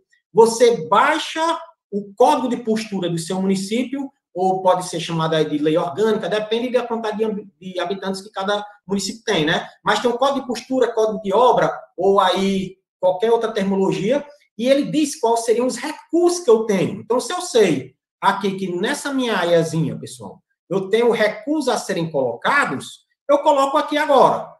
Então, faz de conta, deu uma puxada aqui, considera aí, porque o mouse aqui está meio deslizando. Mas eu posso colocar um exemplo, uma área aqui interna, tirar meus recursos que o meu código de obras exige e só vai sobrar a minha parte de área construída. Então, esse seria o cube, de certa forma, rápido, mas errado, porque eu não sei o que é garagem, não tem projeto. Mas aqui já dá para estimar que minha área máxima, pessoal, ele não podia ser 250. Ele teria que deduzir esses recursos. Então, já sei pelo menos qual seria a minha área máxima que eu teria para utilizar. Então, dá para eu pegar essa base inicial e multiplicar agora por esse cube, certo? Sabendo que ainda é a forma errada de se fazer porque eu estou multiplicando diretamente, mas como eu não tenho o projeto arquitetônico para separar o que é garagem, paisagismo, não tem como eu estimar pelos meus parâmetros. Então dá para fazer isso. Se você tiver mais de um pavimento, você multiplica para dar uma área maior. E aqui é o mais rápido de todos, furabolo, catapiolho. É você fazer isso daqui, quando o cliente só tem um terreno. Partindo agora do princípio que ele tem um terreno, aí sim a gente vai fazer as nossas definições, certo? Ele teria área de garagem, teria área aí de qualquer outro empreendimento. E o que é que, como é que funciona? Eu vou ter que multiplicar por cada parâmetro que eu vou mostrar agora no Excel. Mas, além disso, o que vocês precisam saber é, quando você multiplica pelo cube, pessoal, eu não tenho o custo total ainda. É importante, por isso que eu abri essa página, para vocês perceberem que na minha estrutura ó, não entra esses itens. Então, meu cube, ele só quantifica o empreendimento em si mas ele não quantifica o rebaixamento do lençol freato, ele não quantifica um elevador, porque ele não sabe se sobra vai ter equipamentos de instalações especiais, bombas. Então, isso tudo é adicional e a pessoa teria que acrescentar, que seria exatamente custos adicionais, como eu falei lá no início. Eu preciso fazer o cube, preciso acrescentar os custos adicionais e o meu lucro para que eu repasse depois o que a gente chama de preço de venda que seria o final, beleza? Então tomem cuidado com o Cube, porque o Cube não paga tudo, pessoal. Ele não paga todos esses itens que estão aqui. Aí você pode pensar, ah, Kiri, agora como é que eu faço para descobrir quanto seria isso? Então, como é que eu faço? Vou agora voltar para o Google e a gente vai agora ver qual seria a nossa estimativa por etapa da obra. Então, vou esperar aparecer aí, vou botar aqui no Google novamente. Eu posso botar aqui é, custos por etapa de obra. Então, quando você faz essa busca, aparece zibilhões aí, como eu falo. Ele dá a estimativa por etapa de obra. Tem até umas tabelinhas já prontas com desenhozinho. E eu posso mostrar isso daqui como aquele cronograma físico-financeiro para o cliente. Se eu multipliquei pelo CUB e eu tenho aí mais ou menos as minhas fundações especiais, que é o máximo, né, 7%, você sabe que não tinha fundação especial lá, e você estima que 7% seria fundação especial, 3% seria fundação normal. Então, se sua fundação é especial, você colocaria 7% e acrescentando esse valor que não está pago lá. Isso também é um parâmetro ótimo para você separar por etapa da obra o seu custo e criar seu cronograma físico-financeiro estimado. Se eu sei que eu tinha lá R$ 1.200 por metro quadrado e minha área vai ser 100 metros quadrados, quando eu multiplicar, vai dar 120 mil o total da obra. Aí o cliente diz: Ah, eu não tenho 120 mil, eu tenho só 50 mil agora. Dá para fazer até qual etapa? Então, simplesmente você pode pegar os 120 mil, utilizar esses percentuais por etapa da obra e diluir esses 120 mil em cada percentual desse que você quiser escolher nessas faixas. Então, se sua fundação você estima que é 3%, fechamento 10%, aí você faz essa estimativa por etapa, parametriza os percentuais e já dilui os 120 mil por etapa da obra e olha até onde 50 mil reais dava para ser executado e você já passa para o cliente. Lembrando que esses percentuais paramétricos você pode chutar entre esses valores, né? Mas ele tem que quantificar 100% no total, né, pessoal? Às vezes o pessoal diz, ah, tio Aquilo disse que 3% é fundação básica, 12% é estrutura básica, aí joga tudo no mínimo. Mas se você jogar tudo no mínimo aqui, não vai dar 100%. Se você jogar tudo no máximo, também não vai dar 100%. Então, você tem que manipular nesses intervalos, certo? Então, vou fazer agora uma demonstração mais precisa. Vamos fazer agora uma simulaçãozinha. Vou abrir aqui a minha área equivalente do Excel. Vou esperar dar uma projetada aí para vocês. E vamos ver como funciona. Tranquilo? Todo mundo está vendo uma telinha aqui, orçamento paramétrico, como se fosse a tela inicial do slide? Tá vendo aí todos? Show, dá para ver tranquilo. Todo mundo, acredito que todo mundo esteja vendo também. Bom, então aqui é Excel, pessoal. Eu fiz essa tela inicial, vou clicar aqui para a gente partir para o orçamento. Então veja só, eu separei já nessa planilha todos aqueles parâmetros que existem na NBR. Então, ela é a tabela 5.1, para quem quiser consultar novo, vou dar um zoom aqui para vocês verem. E o que é que eu tenho aqui de parâmetros? A garagem, ela é meio fixo, certo? Minha área privativa, ela é um fixo, que é construção real tipo. E esses outros parâmetros, eu posso, é uma faixa que eu posso variar. Então, o que é que eu fiz nessa planilha? Eu não quis fazer essa variação de 001 em 001, porque fica até muito subjetivo, né? Você andar de 0,75, agora eu vou chutar 0,76. Isso é irrelevante no valor final e na parametrização que você está fazendo. Então, eu gosto de trabalhar de 5 em 5 para esses itens maiores e em um em um nesse. Então, eu criei a planilha aqui, ó, onde eu tenho os coeficientes da NBR, e eu já tenho o que eu quero adotar. Esse daqui eu só consigo adotar esse valor. Esse daqui eu já consigo adotar de 0,75 a 0,90. Então, eu posso escolher de 5 em 5 e vou parametrizar agora ele todinho de acordo com o que a NBR diz. Então, vou chutar uns valores aqui. Eu, eu sei que está dentro da NBR, porque a lista que eu coloquei aqui, ela só coloca valores dentro, né? Então, vou adotar uns aqui para a gente fazer esses amarelos mais rápido. Então, imagina o seguinte. Faz de conta que eu tenho a minha estruturazinha, vou jogar esses valores aqui de área para cada ambiente desse, para a gente não perder tempo. Então, ó, vou pegar esses valores, digamos que minha casinha teria uma garagem, então vou escolher aqui garagem. Vai ter uma área privativa, que seria a área interna.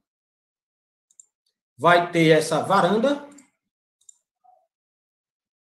Vai ter um terraço então, aqui tem todos os itens da NBR, eu já coloquei aqui, ó.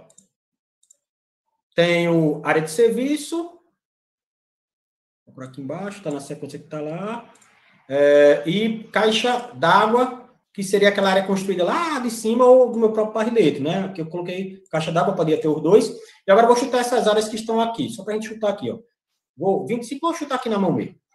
Bom, então é que interessante. Eu vou chutando aqui, ele já vai calculando a área total, né?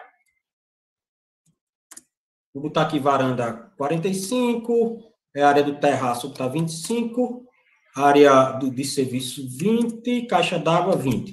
Então, ele já vai calculando e já criou minha questão aqui, ó. Eu já criei uma questão automaticamente aqui, ó. Já criou nossa questãozinha que ele quer. Avaliar o preço de construção de edificação unifamiliar, então ele já deu qual seria o tipo de edificação, é unifamiliar, padrão alto, área construída foi o que eu acabei de calcular. Então, o que, é que a gente precisa fazer, pessoas? Escolher os coeficientes. Então, meus coeficientes, eu posso escolher baseado no que eu tenho lá, né? Então, eu posso pegar os coeficientes que eu tenho aqui adotado e jogar lá. Então, como é que funciona? A minha garagem, o coeficiente é 0,5. 0,5. Então, ele já começa a calcular como, pessoal? Ele vai pegar a área só da garagem e multiplica pelo coeficiente. Então, minha garagem, eu não vou jogar no meu cálculo de cube ela com 25 metros quadrados. Ela só vai entrar 12,5, que seria metade. Área privativa é 1, é, varanda, podem olhar aqui que varanda, ela vai de 0,75 a 1, ele pega aqui 85, né? Eu posso até pegar aqui 0,85. Eu, eu, opa, eu posso até fazer o PROC V depois para ele pegar automaticamente de lá. Quando eu preencher aqui, ele pegava automaticamente esses parâmetros. Então, 85, eu vou colocar outra aqui ligeirinho. 3.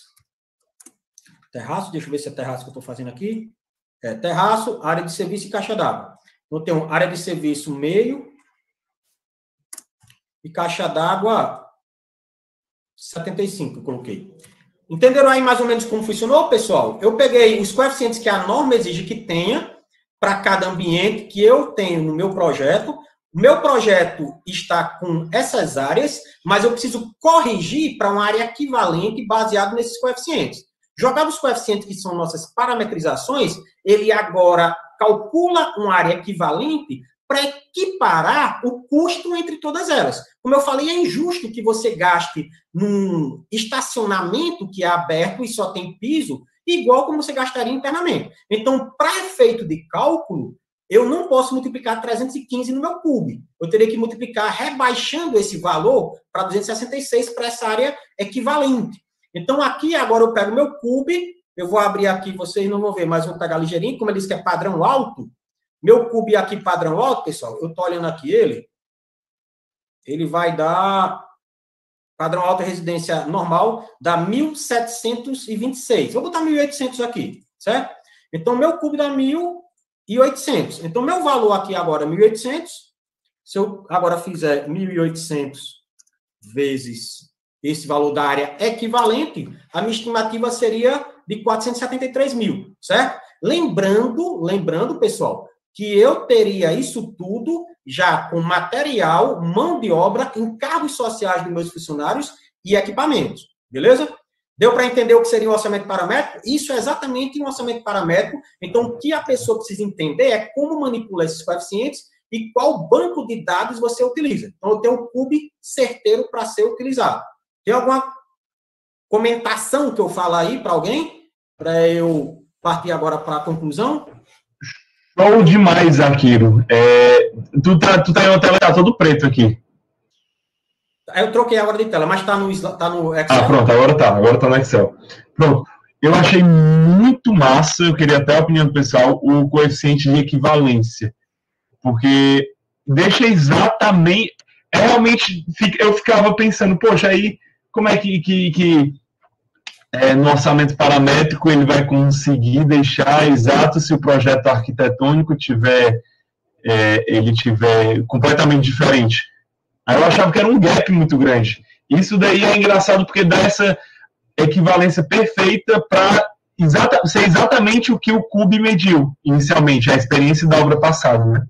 Exatamente. E, e outra questão que vocês podem fazer é o Cube, como eu mostrei na tabela, ele mostra alguns tipos de obra. Mas à medida que você vai executando, você cria seus próprios coeficientes. Como? Eu posso pegar quanto eu gastei na minha garagem e dividir pelo meu custo, que seria das outras áreas que a gente sempre faz a referência. Lembre que essa referência é em relação a 100%, né? Que seria a minha área privativa. Então, exemplo, se minha área privativa gastou 30 mil reais, a minha área externa para fazer e acabar ela, e minha garagem gastou aí 5 mil reais, aí você já divide um pelo outro e já sabe quantos por cento essa garagem equivaleria. Então, esses coeficientes foram criados assim. Então, essa mediana que eles criaram foi exatamente em cima dessas obras e várias obras que foram construídas e no banco de dados que existem aí no CEBIC, Sinduscom, IBGE, eles misturaram tudo e nos sindicatos e criaram esses coeficientes nessa faixa, o que não quer dizer que você não possa utilizar outra faixa, que seria exatamente da sua é obra, né? Do seu empreendimento, que você mesmo vai alimentando. Uma dúvida aqui do Marco Pessoa: como estimar os itens não inclusos no CUB?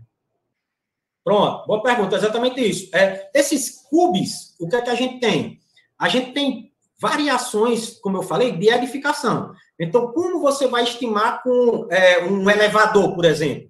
Você pode fazer uma cotação do preço do elevador local, que é o ideal sempre é o custo local, e dividir pela área construída. Então, o cube total, você pode somar todo o meu cube com os especiais, ou simplesmente eu fazer pesquisa mercadológica e somar com o meu valor final. Para ficar mais claro, esse valor aqui não está incluindo, digamos assim, é, objetos especiais, elevadores, é, rebaixamento lençol freático. Então, eu posso fazer agora uma cotação externa e meu valor, que a gente chama de preço final, né? Ele vai ser o preço que foi obtido por cube por metro quadrado, né? Multiplicado pela área. Então, eu achei já a minha estrutura edificada e você vai somar os extras. Então, você faz a cotação dos seus custos extras e tiraria. Ou você pode pegar obras de outros clientes que você já teve ou de conhecidos, olha quanto ele gastou para fazer a parte de elevador, a parte de paisagismo, a parte de playground, divide essa área aí e já faz a soma baseado em cima desse cube, como se esse cube já tivesse acrescentando esses outros valores adicionais. Então, seriam essas duas formas. Ou inserir diretamente no cube, para depois você multiplicar por metro quadrado, ou você faz extra o levantamento e soma no valor final. Tem esses dois caminhos.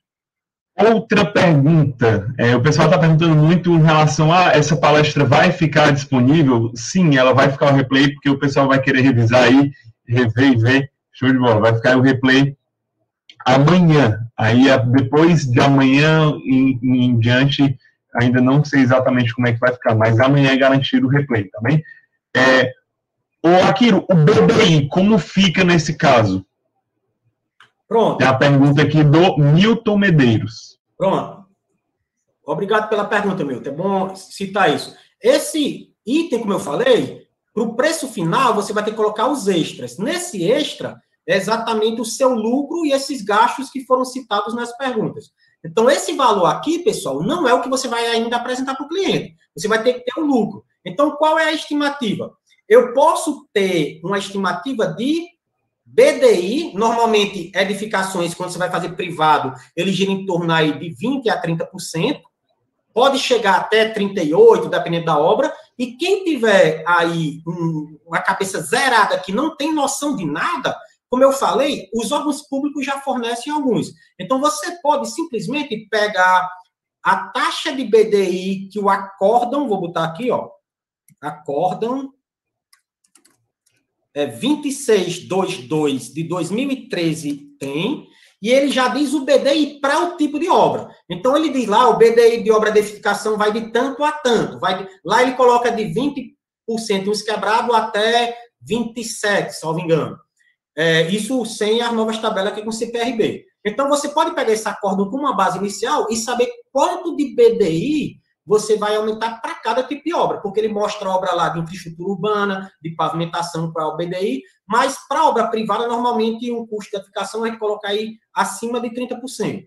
Então, mas vamos botar 30%, 35%. Então, você poderia pegar aqui e acrescentar 35%, contando, né, que esse valor já está com as taxas extras aí de construção. Agora eu vou acrescentar meu BDI, que seria exatamente multiplicar aqui por 1,35, 1,35 de acréscimo de BDI, certo? Então, meu BDI pagaria minhas contas, que não tem nada a ver com a obra, seriam minhas contas dos funcionários que eu tenho que pagar. Imagina você começou a, a, a trabalhar agora. Você alugou aí um, um local, está pagando aluguel, você comprou um carro, está pagando prestação. Então, isso tudo você vai ter que tirar dinheiro de algum lugar. É suas despesas indiretas. Então, BDI, os 35% estaria para cobrir esse adicional, certo?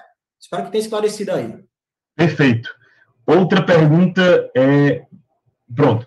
Esse valor de área equivalente é multiplicado pelo valor do metro quadrado equivalente? É assim, esse os valores que eu coloquei aqui são os que estão em projeto. Então, na leitura do projeto, né, da planta arquitetônica, estariam essas áreas que a gente chama de área real.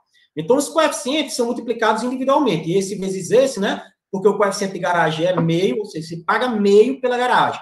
Então, você vai área por área, multiplicando o coeficiente pelas áreas, de acordo com o coeficiente, e aqui seria a soma do que deu o resultado do estudo, né, para cada etapa. Você fez individualmente cada multiplicação dessa, e agora você vai somar cada uma e vai ter esse novo global. Era isso que tinha dúvida? Perfeito, show de bola. É, eu acredito é exatamente nessa parte. Aqui, agora eu tenho uma pergunta. Pessoal, quem tiver mais perguntas, coloquem aí no chat. Eu estou de olho aqui no chat. É, se eu tiver passado por alguma. É, teve até um comentário do Edgar, que ele realmente, falando do orçamento paramétrico, que é muito usual, porque os bancos utilizam muito esse método do projeto padrão para verificar se as propostas de financiamento de construção estão com orçamentos viáveis. Então, realmente é um tipo de orçamento muito utilizado aí no mercado é, é, para realizar essas estimativas, né? É, exatamente. E até para quem gosta da área de engenharia de avaliações, né, é até uma das formas também estatísticas da gente trabalhar. Então, quem quiser seguir também, aqui já é um caminho também já ótimo para você seguir tanto a área de engenharia de avaliação, né, para emitir aqueles laudos que são feitos para os bancos, como também para o mercado privado, digamos assim, né, e profissional. Perfeito. E aqui uma dúvida é qual o próximo passo do orçamento paramétrico? Vamos dizer assim, como a gente pode deixar ainda mais aprofundado? Porque assim, você, a primeira dica foi é, realizar o, o, o, coeficiente de equivalência. Outra dica foi você ter o seu próprio CUB. É, quais são os próximos passos dentro do orçamento paramétrico para deixar ainda mais exato? Bom, é, o ideal é que você já tenha obras que tenha é, um orçamento feito detalhado para você separar percentuais por etapa. Porque eu mostrei na internet aqueles percentuais por etapa, mas digamos que você já tinha um feito detalhado. Então, você faz o seu percentual por etapa da sua obra, do seu mercado, do seu custo, do seu preço, dos seus fornecedores, e acaba fazendo com que os percentuais por etapa seja mais adequado do que o que você está usando tabelado. Porque essas tabelas, elas são generalizadas e é, é globalizada no Estado, né? E às vezes até nacionais. Então, não é, emite uma realidade regional. Então, você pode fazer um orçamento detalhado, ver qual é o percentual por etapa da obra e fazer esses cálculos, como eu falei, por cada parâmetro desse. Você pega uma, um parâmetro de uma obra sua, da sua garagem, como você fez, cria seu coeficiente. E faz por etapa da obra para transportar para o cronograma que eu mostrei, né? Você faz o cronograma também baseado no seu custo. Então, o ideal é ter um detalhado local, com preços locais, para fazer um completão, digamos assim, e é, extrapolar para as etapas de obra, né? Ficar com ele tanto global, como eu mostrei aqui, quanto por etapa de obra, com valores regionais. Perfeito. Tá me escutando bem aqui? O pessoal disse que meu microfone estava meio ruim. Deu umas falhadas, mas tá, deu, dá, dá para escutar, deu, deu para entender. Mas agora tá estável? Tá estável. Pronto, tá dando para escutar bem, né? É, outra pergunta aqui a laje de coberta entra como área descoberta sobre laje ou junto com área privativa, privativa do térreo? Não, aí depende de como você vai utilizar. Veja só, existem dois parâmetros aqui que eu vou mostrar. Se você for fazer algo sobre uma laje e ela é descoberta, aí você vai ter que utilizar aqui como sobre área, sobre laje. Terraços ou áreas, aí por isso que entra a experiência, para qual item é o mais adequado. Se você faz uma cobertura, e essa cobertura lá na última laje, né? Você não tem outra laje de, de coberta dessa área da sua cobertura, é um telhado comum, ele é considerado como área aberta, igual uma garagem. Então, eu tenho percentuais aqui, certo? De áreas sobre lajes, e eu tenho ela também dentro de áreas que possuem laje em cima. Quando você possui uma laje em cima, você pode entrar como área privativa, dependendo do acabamento. Se você perceber que o acabamento dessa área, que a gente utiliza muito em subsolo, né? A gente não tem, a gente utiliza como uma garagem de subsolo. Porque o subsolo, ele tem laje em cima, tem laje embaixo, mas o acabamento do subsolo não é igual à minha área privativa, que tem laje em cima, laje embaixo, mas o acabamento é diferenciado. Então, esse jogo de cintura para você fazer essa equiparação entre as áreas de referência com o que você quer fazer.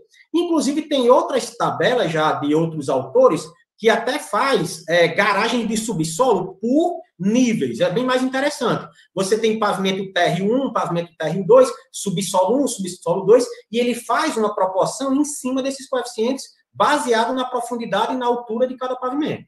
Pode ser feito assim também. Perfeito. É, nas últimas perguntas aqui, Akiro, é, qual é o critério para a adoção dos coeficientes? O critério realmente é, são dois, na verdade, né? É o acabamento, então, quanto mais próximo do máximo, você está aí supondo que você está utilizando um acabamento melhor. Mas o parâmetro principal é um, certo? E esse um é baseado na obra que você vai ter. Porque, na verdade, o critério que você utiliza aqui é para área. Quem vai dar a precificação final é o cube do tipo da obra que você escolheu, né? Se você tem um acabamento bom, não é isso daqui que vai definir se o preço vai ficar bom ou ruim. É o cube que você vai utilizar. Porque o cube que você vai utilizar é um cube para o valor alto. Assim como tem um cube para o valor baixo. Não é isso daqui quem vai determinar isso. Mas, assim, no geral, o quem vai determinar isso é o acabamento. Quanto mais alto, você está dizendo que tem um acabamento diferenciado, ou tem acabamento, ou não tem. Então, isso tudo é parametrizado pela quantidade de insumos que aquele é, ambiente tem. Quanto mais objetos, como vocês veem aqui, a sala total é um, porque eu estou considerando que ele tem de tudo, né? Tem piso, tem teto, tem parede, tem chapisco, tem bolso. Então, quando você tem menores, é porque você não tem todos esses itens. Então, seria esse parâmetro, a quantidade de objetos construídos. Mas não seria o preço. Perfeito, show. Aqui eu estou com um probleminha no microfone, eu já vou te perguntar de novo. Tá, esse daqui tá tranquilo também? Tá, tá. Pode perguntar. Show. É, qual que tá, deixa eu ver outra pergunta. Ó, para a parametrização de orçamento de obras de grande porte, hospitais, por exemplo, você ainda utilizaria os coeficientes da NBR ou só utilizaria obras similares? Para um efeito melhor, você pode utilizar é, um assimilar, porque sempre assimilar é a que mais se enquadra, mas não impede de utilizar essa NBR. Por quê? Porque esse padrão aqui, pessoal, apesar da, do que ele está colocando aqui como área privativa, área aberta, é enquadrado por qualquer tipo de obra. Inclusive, se vocês analisarem, os exemplos que alguns autores utilizam é escola, é exatamente hospital, e como é que isso é utilizado se você não tem obra é, similar nessa tabelinha. Como é que eu faço isso?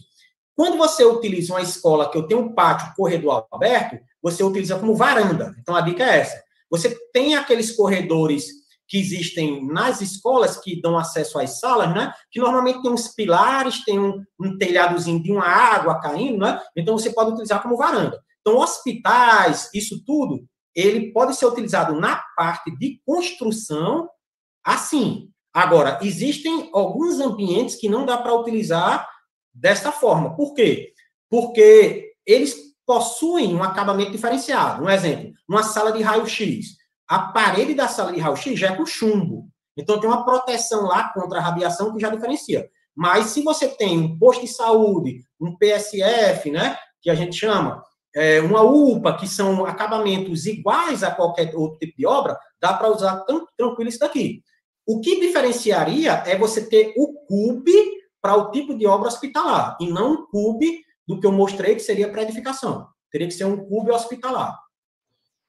Entraria todo o jogo do coeficiente novamente para saber o que seria sala de espera, sala de raio-x, o que seria, e depois ir multiplicando, né?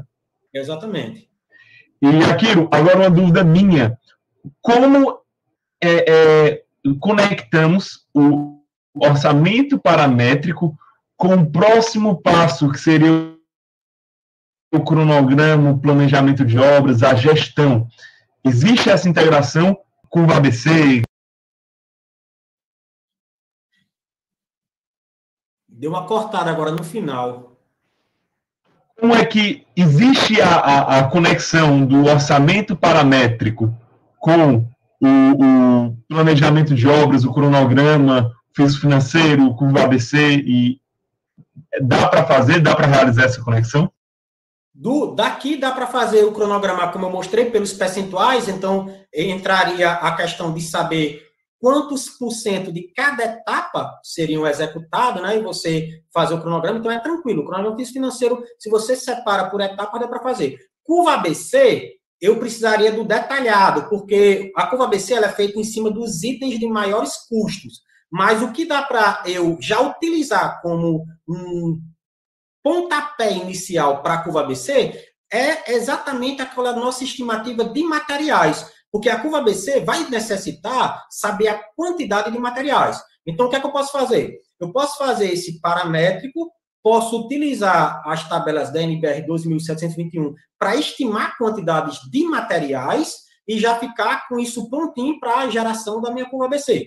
Aí eu precisaria depois só lançar os custos por cada material para ele gerar detalhado. Se eu quiser detalhar a curva ABC de serviços, pensando em macro serviços, aí dá, tranquilo. Porque eu já estimaria por etapa de obra e faria a curva ABC de serviços, de macro serviços. De serviços e de materiais teria que entrar no detalhamento. Mas já ficaria encaminhado o quantitativo dos materiais e ficaria encaminhado uma curva ABC de macro serviço. Dava para fazer esses dois.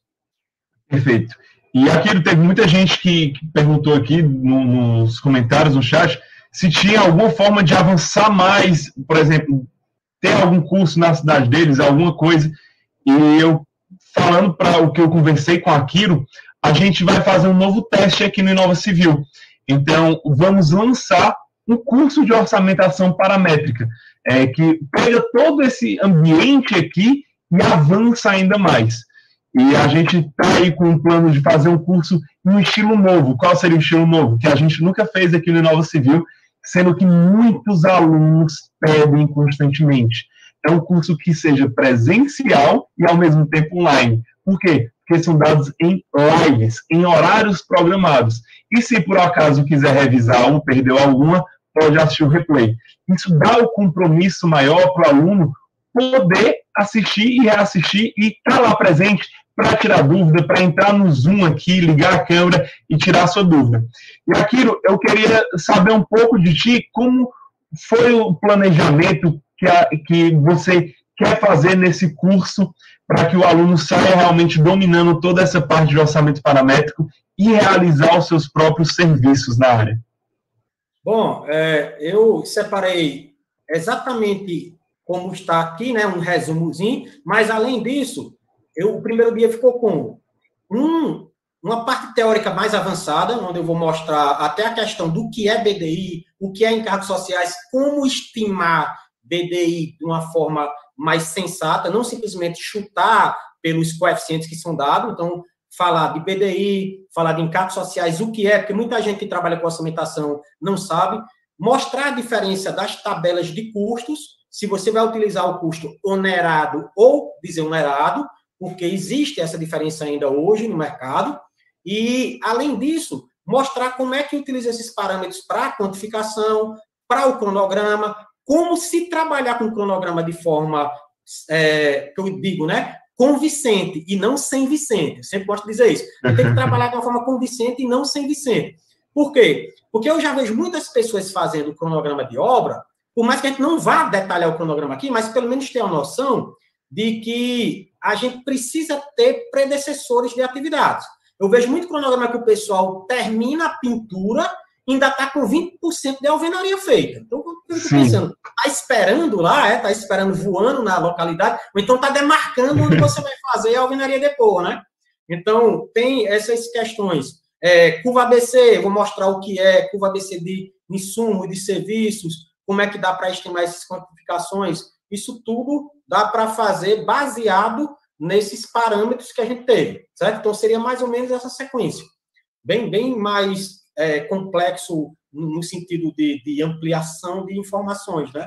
Eu espero que tenha até esse resumo aqui tenha sido esclarecedor, mas a gente tem é, essa ideia mesmo de, de trazer algo mais completo, né? E para quem, quem perguntou sobre como seria, seria basicamente quatro lives e cada live teria em torno aí de três horas. Então, se você acha que teve muito conteúdo aqui em uma hora e meia, imagine o que não seria quatro lives de conteúdo avançado punk que sai do zero. É, Aquilo, mesmo quem nunca aprendeu nada sobre orçamento, consegue acompanhar o curso e entender direitinho sobre tudo? Consegue tranquilamente. É, eu vou começar de novo, né? Do princípio do início da gênese, do start, do começo, né? E dá tranquilo, não se preocupe, porque a gente vai falando é, dessa parte inicial, que o cronograma, como. Só que, apesar de iniciar do zero, né? Seria um zero mais desmiuçado e começando a dar passo mais avançado. Mas não se preocupe quanto a isso, não, porque a ideia é do profissional do 000 mesmo, que nunca ouviu falar nem de orçamento, ter essa noção todinha, tanto teórica quanto prática. E chegar naquele nível de até poder vender o seu serviço em orçamento paramétrico para. É, que é uma coisa que a gente fala muito aqui no Nova Civil. De nada adianta você ter um conhecimento se não aplicá-lo de fato na prática e não tiver um valor no mercado. Então, sempre quando a gente quer lançar alguma coisa, a gente pensa muito nisso. Então, é, o, outra pergunta que eu tenho sobre o, o, o curso, ele seria dado, o conteúdo lá dentro teria um passo a passo prático, mostrando de fato o orçamento com todos os detalhes, como é que seria esse projeto e como seria a realização disso? Eu vou é, disponibilizar um, uma planta para mostrar como é que faz os quantitativos por planta. Inclusive, é, eu ensino a levantar com comandos de, de softwares, quem, quem utiliza, não que seja necessário você dominar o software, mas eu mostro diversas alternativas de quantificação, tanto quantificar utilizando a folha, né, medindo é, fazendo áreas através da leitura de projeto, porque uma coisa que eu percebo muito que o pessoal é, ainda não domina tanto é leituras de projeto, então você tem que saber ler projeto, saber o que é área institucional, o que é área comum, de onde é quantificada uma área, se é do meio da parede, se é da face interna, se é da face externa, isso tudo no orçamento paramétrico ele tem que ser considerado, a posição que você retira a região da área, e também comandos de Excel, como eu mostrei aqui, né? Comandos de AutoCAD novos para quem quiser utilizar e facilitar até aí, dando uma dica aí no, no de reforço, né? No mercado de trabalho para o pessoal já sair tanto com uma bagagem de conteúdo quanto também uma bagagenzinha aí de auxílio em softwares. Show, muito massa, muito massa. E outra pergunta é: o, o material é disponibilizado para os alunos? sobre planilha, sobre esse. Exemplo, essa planilha, o pessoal que está delirando sobre ela, querendo saber se, se, se dá certo ter ela. Eu vou, na verdade, no primeiro dia, a ideia, é, se der tempo ainda no primeiro, mas entre o primeiro e o segundo, a gente fazer junto essa planilha. Massa, Exatamente entraria na, na parte dos conhecimentos de Excel. E parece uma coisa é, é, trambólica, mas é simples, simples. Comandos simples de Excel eu consegui fazer isso aí. Não tem nada de avançado aí, não para você ver que às vezes você não conhece um comando que é bestinha e que dá uma otimização muito grande no seu dia a dia, né? Isso. Pessoal, vocês curtiram a palestra de orçamentação paramétrica com Akiro Shikushi? Me falem aí no chat. Que bacana, gente, que bacana.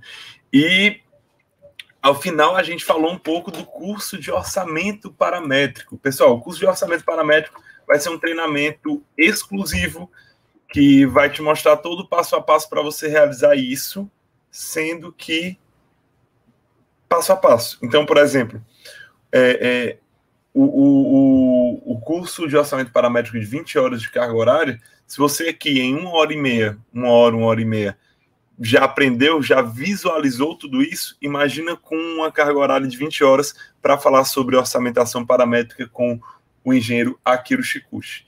Então, esse treinamento, ele está bem completo, ele fala todo passo a passo, ele te possibilita para quando o cliente for te perguntar o valor, ordem de grandeza, para quando você quiser fazer uma análise superficial de uma viabilidade de empreendimento, você tem essa capacidade.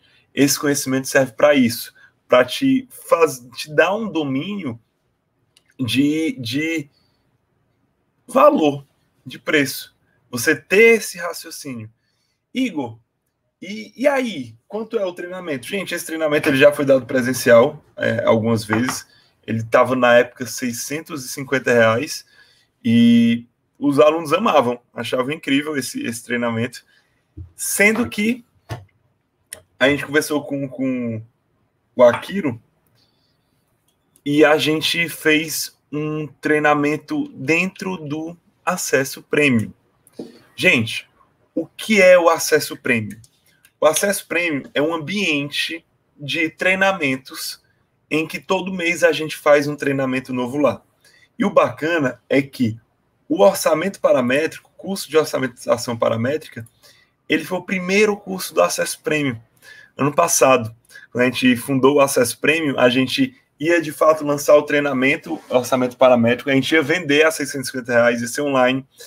Gente, um dia antes, um dia antes da gente fazer a abertura de turma do orçamento paramétrico, eu tive a ideia do acesso prêmio. Poxa, imagina se pô, o, o aluno vai entrar no orçamento, aí a gente quer lançar um curso de projeto hidrossanitário, aí ele tem que comprar de novo. Aí ele quer lançar um curso de estruturas, aí ele tem que comprar de novo. Aí a gente quer lançar um curso de projeto elétrico, de construção enxuta, de Revit. Aí ele tem que comprar de novo. A gente, poxa, porque ele não faz um ambiente em que ele não tenha que ficar desembolsando esse valor para ficar entendendo conteúdos necessários para a carreira dele. E se ele pagar uma mensalidade, algo que cabe mesmo no bolso dele, como a gente é online, a gente consegue criar uma estrutura mais parruda e diminuir os, os custos que não agregam valor. Por exemplo, aluguel de uma sala. Para 10 pessoas para fazer um curso desse, não agrega valor. A pessoa quer o curso, ela não quer a sala. E a gente não precisa gastar com sala. O, o coffee break. É, é, lógico, agrega valor o coffee break, é bacana. Mas não é pelo curso, não é pelo coffee break que você vai no curso. Então a gente começou a cortar esses custos e trazer para um ambiente como se fosse Netflix. Quando você vai alugar uma fita cassete, quando você ia alugar uma fita cassete numa blockbuster da vida, um, um DVD, um Blu-ray, quando você ia alugar, você pegava o DVD, sendo que você não precisa do DVD. Você queria assistir o filme e aí veio o Netflix. Então, o acesso premium ambiente para você ter treinamentos completos na área da engenharia civil. E você pode perguntar, certo, Igor, mas quanto é que custa o acesso premium? Gente, o acesso premium não tem uma mensalidade que poderia ser de 500 reais por mês. Por quê? Porque todo mês tem um treinamento novo e ao você entrar, já tem todos esses treinamentos disponíveis lá dentro. O acesso premium tem um valor de R$ 48,42 por mês. Com esse valor, você consegue ter acesso a todo o curso de orçamento paramétrico, todo o curso de projeto hidrossanitário, de projeto elétrico, de construção enxuta, de Revit, de metodologias construtivas para você fazer o passo a passo da sua obra, de inspeção predial, de instalação predial de uma casa multifamiliar, de planejamento de obras, de elaboração de cronogramas, de gestão de obras, de análise do pós-obras e depois do orçamento paramétrico tem uma continuação que é a fórmula da orçamentação, que é um curso de orçamento mais, mais específico, que você vai ter uma margem de erro menor. Então, a gente fez uma continuação para o curso de orçamento paramétrico. Na época que a gente gravou essa palestra, não tinha. E, deixa eu botar aqui. E ainda tem um curso para você não atrasar a sua obra. Então, por exemplo, aqui, Orçamento paramétrico, introdução ao curso, prática de orçamento paramétrico e quantificação de insumos. Tem aqui Akiro Shikushi. Aqui é o aluno tirando dúvida no, no momento do ao vivo. Ó. Tudo isso daqui fica disponível para você de forma ilimitada. Para você assistir, ver, rever. O link para acessar o material fica embaixo para você pegar. Ó.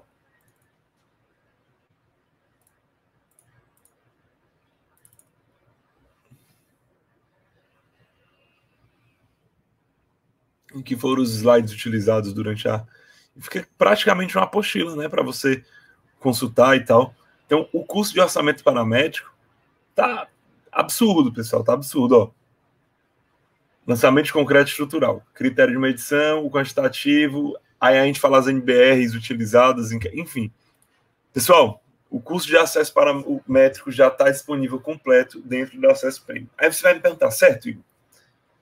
Achei muito bacana a palestra. Inclusive, se você achou, clique em gostei, se inscreva no canal. Certo, Igor, achei muito bacana a palestra.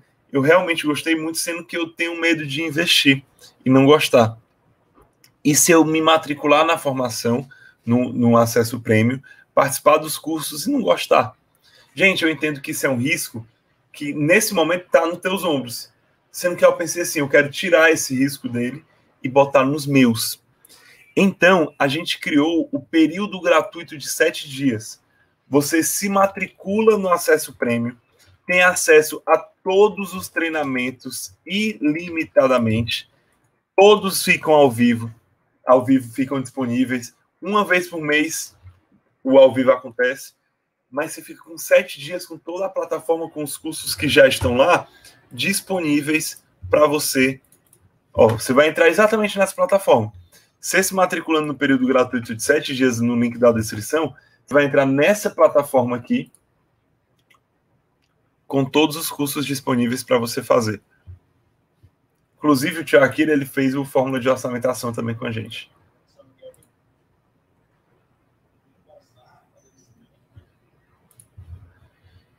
Então, pessoal, tá liberado sete dias gratuitos para você visualizar a plataforma por dentro e ao final de sete dias você decide se vai se matricular ou se vai sair. E aí, qual é o grande ponto? Quem se matricular, eu vou ficar muito feliz, porque acreditou no Inova Civil e confiou no, no trabalho do Inova Civil para continuar consumindo os nossos conteúdos. Por outro lado, o pessoal que saiu, eu também fico feliz com eles, porque eles me deram a oportunidade de eu mostrar um pouco do acesso prêmio e por algum motivo eles quiseram sair, mas está tudo bem, isso não entra em questão. Mas eles me deram a oportunidade. Lógico, é uma taxa muito baixa desse percentual de saída, porque pô, acesso prêmio é irado. Mas tem uma galerinha que sai porque teve um que saiu porque bateu a moto e não ia conseguir pagar 48 reais por mês. Ninguém sabe as condições dele, mas é, é, é, é... enfim. E aí, eu fiz o seguinte, rapaz, só no congresso eu vou fazer isso, porque eu consigo falar ao vivo com o pessoal e o pessoal consegue entender isso. Todos que estão entrando no período gratuito de sete dias vão receber o BIM Book. Basta se matricular no período gratuito de sete dias, você não paga nada. Independentemente se você entre no, depois dos sete dias e efetive sua matrícula, ou se você não efetive sua matrícula e peça para sair antes do período de sete dias, você vai receber o BIMBOOK. Isso daqui eu só faço por uma forma de te incentivar, de falar assim, cara, clica e se matricula no período gratuito, que você não vai pagar nada. Isso pode mudar a tua vida profissional. Então você precisa, se você está gostando do congresso, se você é, é, tá curtindo estar tá aqui com a gente, o acesso premium é um ambiente muito mais complexo, mais passo a passo, que vai te fazer realmente fazer um serviço. Essa palestra não vai te preparar para fazer um orçamento paramétrico. Ela vai te mostrar o que é, tá bem? Lúcio Flávio, vai, vai ensinar orçamento para, é, é analítico? Vai sim, Lúcio. Aqui, ó, curso Fórmula da Orçamentação. É a continuação do acesso do, do orçamento paramétrico. Tá bem?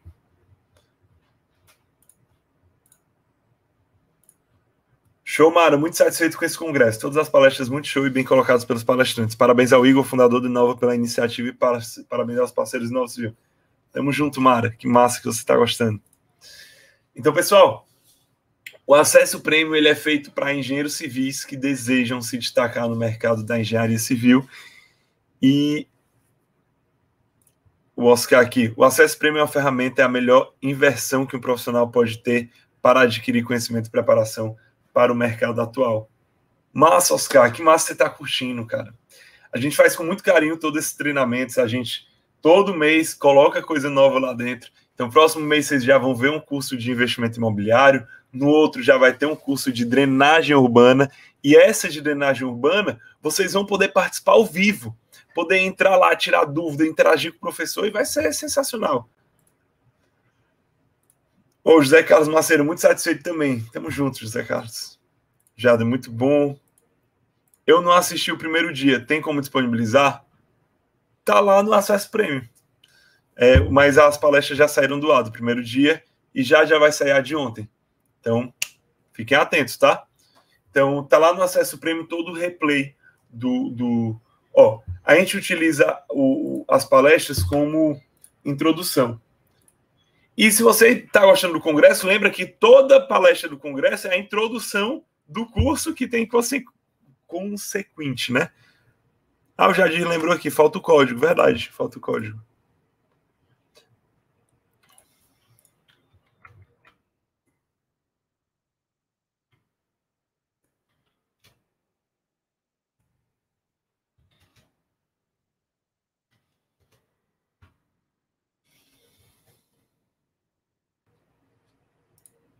Aqui.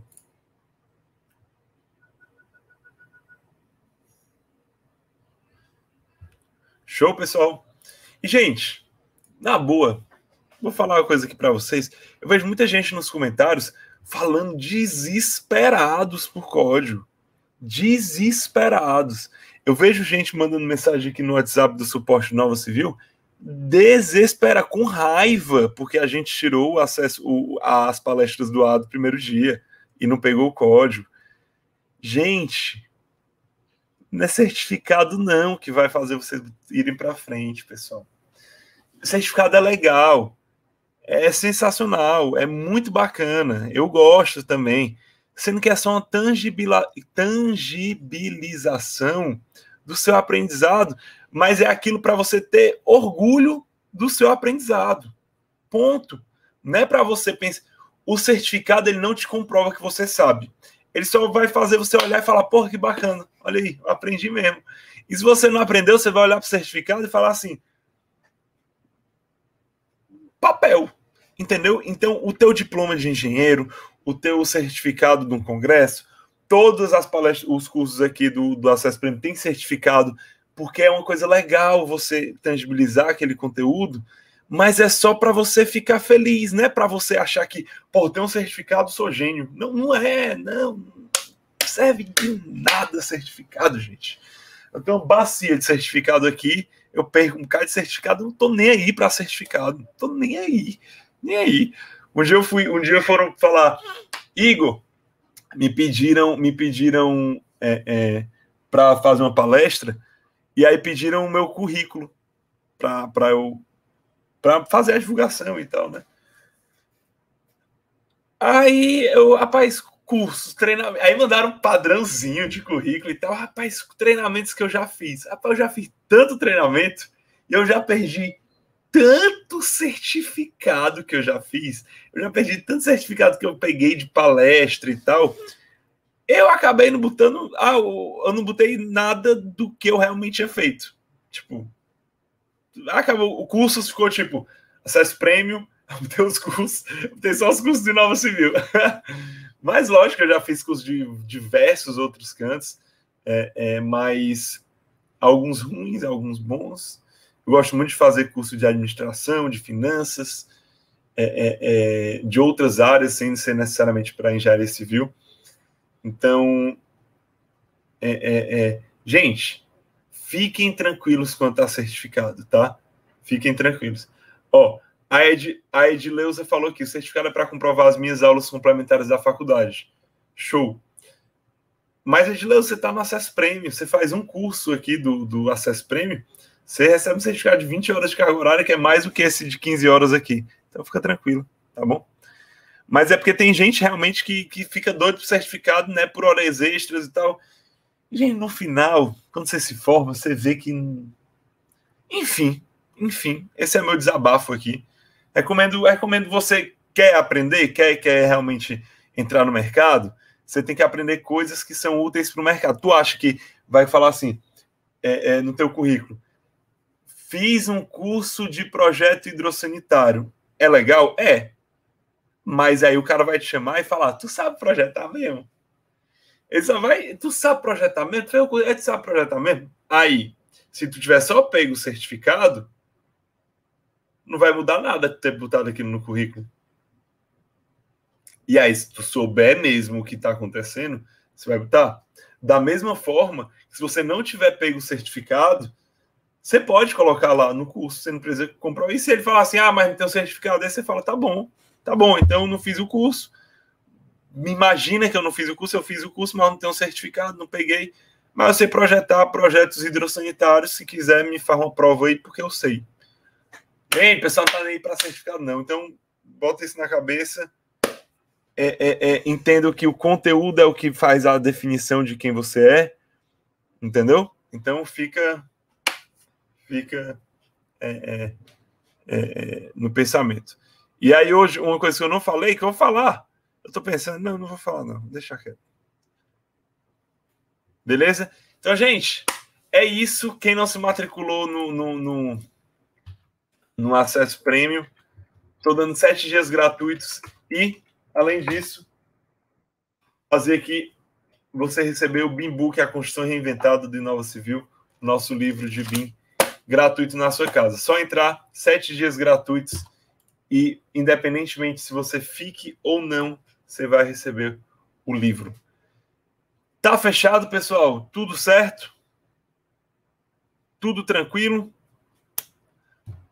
Gente, eu sei que a faculdade recebe, é, é, é exige uma carga horária com certificado, mas a carga horária é muito baixa.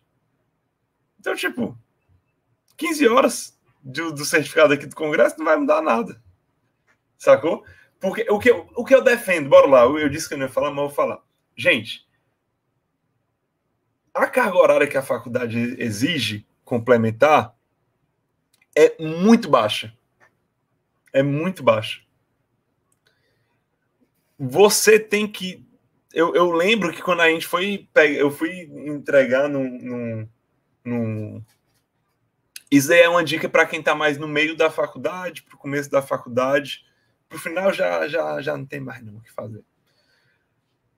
Porque no final o cara já, já tá no período final e tal, e é isso aí. Gente, quando você, você vamos supor, você, deixa eu ver aqui quantas horas dá faculdade. Horas complementares faculdade. Quantas horas são aí? Geralmente. Cargas horários complementares.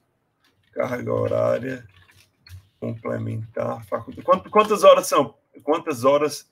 São 120 horas? Pronto, bora lá. 120 horas. Pessoal, na boa, 120 horas de, de carga horária. Você tem cinco anos na faculdade, vezes dois, dez semestres. Dez semestres na faculdade. Se você pega 120 horas e divide por 10, dá 12 horas. Você divide por 6, dá duas horas por mês. Você realmente não dá para assistir uma palestrinha por mês? Proporcional, né? Ou então, pegar, fazer por semestre um cursinho de 20 horas de carga horária. Todo curso aqui de Nova Civil, do acesso prêmio, tem 20 horas de carga horária. Então, tipo, o aluno vai, precisa de 120 horas. Aqui, ó. Eu tô falando isso não é para vender o acesso prêmio, não é só para vocês terem noção o quanto isso é pouco. Tá bom? Ó. Você vai. Orçamento paramétrico elétrico. Um, dois, três, quatro, cinco, seis. Acabou. Tá aqui. Você faz esses seis cursos aqui e acabou todas as horas extras de toda a tua faculdade de cinco anos. Acabou. Não, não precisa mais. Gente, não é muito pouco. É, isso daqui não, isso daqui é incrível. Mas você tem que fazer mais do que isso na tua faculdade. Mais do que se você quer se destacar, você tem que fazer mais que tem que fazer todos, todos, todos, todos, todos, todos. Tô falando tem que ser sangue no olho, tem que se você quer uma coisa, vá atrás e dá o gás. Dá o gás. Compra curso, é, é, ver vídeo, conversa com engenheiro, seja cara de pau para arrumar uma entrevista com alguém, manda teu currículo para Deus e o mundo, mas faz um currículo bom, porque o pessoal manda currículo para Deus e o mundo, um currículo paia, que não tem treinamento nenhum, que não tem domínio de nada. Se você tá zerado, sem estágio, sem nada, vai arrumar estágio é, é, é sem, sem bolsa de estudos. Eu já estagiei é, é, sem receber nada para pegar a experiência se você precisa da bolsa de estudos, aí é outra situação, você dá uma olhada. Mas tem gente, pessoal, que vive no bem bom, não precisa do valor da bolsa, precisa só para ir para restaurante e tal, mas porque tem gente precisa da bolsa de estudos para se sustentar. Não estou falando isso antes que, que, que falem qualquer coisa. Estou falando de tem muita gente que eu conheço que faz o, o, o, o estágio e não vai porque não tem bolsa. E fica o semestre sem fazer nada, a tarde toda sem fazer nada, vivendo bem, tranquilo, sem estresse, é sustentado, tranquilo e tal, tal, tal, tal. E aí vem reclamar aqui no Nova Civil que, que não tem estágio. É loucura, velho. É loucura, porra. Vai trabalhar de graça, velho, por seis meses, depois tu vai botar no teu currículo. Vai fazer curso durante esse tempo, vai, fazer, vai preenchendo teu currículo e depois tu vai distribuir, aí tu vai conseguir bolsa estágio. Pessoal, medicina, você trabalha seis anos, você não recebe um real, nem se você quiser. Então, o, o, engenheiro tem que começar a ter o raciocínio mais de estudo, mais acadêmico, de querer dar o gás, porque tem muita gente que está se acomodando pensando que a faculdade vai te ensinar tudo e não vai. Não vai. O Nova Civil, ele nasceu, ele cresce e, e, e a gente já está com mais de 4 mil alunos, muito porque a faculdade não prepara o engenheiro civil o suficiente. Então, a gente entra como um braço de educação para o engenheiro civil agarrar a faculdade, agarrar o Inova Civil e se jogar no mercado. Esse é o nosso objetivo. Então, pessoal, já tá, estou dando muito sermãozinho aqui. Eu só queria compartilhar o que eu penso. E, e é isso. Não fiquem com raiva de mim. É só o meu raciocínio. Mas caminhar agora eu quero saber, vocês concordam? Vocês, acham. Vocês acham que eu estou falando certinho? Eu queria saber a opinião de vocês, né? E se não concordar, tá tudo bem. É só o meu raciocínio e a gente vai discutindo, vai debatendo e vão tendo novos, novos raciocínios conforme a, a conversa vai crescendo. Então, é, é, é só uma forma de, de expressar. Tem que dar o gás. Se não der o gás, meu chave, se não, não estudar bem, pessoal, o mercado vai lá e, Vral, te come. Beleza? Pessoal, é, o acesso prêmio está com o link aí no chat, inovocivil.com.br Black Premium. Todo mundo que se inscrever nos sete dias gratuitos vão receber o livro. No, na sua casa, o livro gratuito. Então, ó, bora estudar. Se não for aqui no Novo Civil, é porque no Novo Civil tem mais de 10 cursos, curso todo mês. Vão ser mais de 20 cursos no total por 48 reais por mês. Então, não conheço nenhum outro lugar assim. Mas, independente seja aqui ou não, estudem, gente, dê o gás. Se vocês querem engenharia civil para a vida, deem o gás na engenharia civil. Igor, não quero engenharia civil para a vida. Então, vai dar o gás em outra área. Ah, Igor, quero ser é, é, é, jogador de futebol. Então, trabalhe para ser o melhor jogador de futebol do mundo Aí eu não quero fazer nada. Então tu tem que fazer nada de uma forma muito especial. Porque tudo que você for fazer, rapaz, bota na sua cabeça que é para ser o melhor do mundo. Você não vai ser o melhor do mundo. As chances são muito baixas. Mas, porra, mira lá. Mira lá. Eu miro para o Inova Civil ser a melhor empresa, a melhor escola de engenharia do mundo. Não tô nem aí se eu não chegar lá. Porque eu sei que eu mirando lá, no caminho eu vou impactar muita gente. Então é isso. Pessoal, Tamo junto e bora. Meio dia tem outra palestra. Vamos.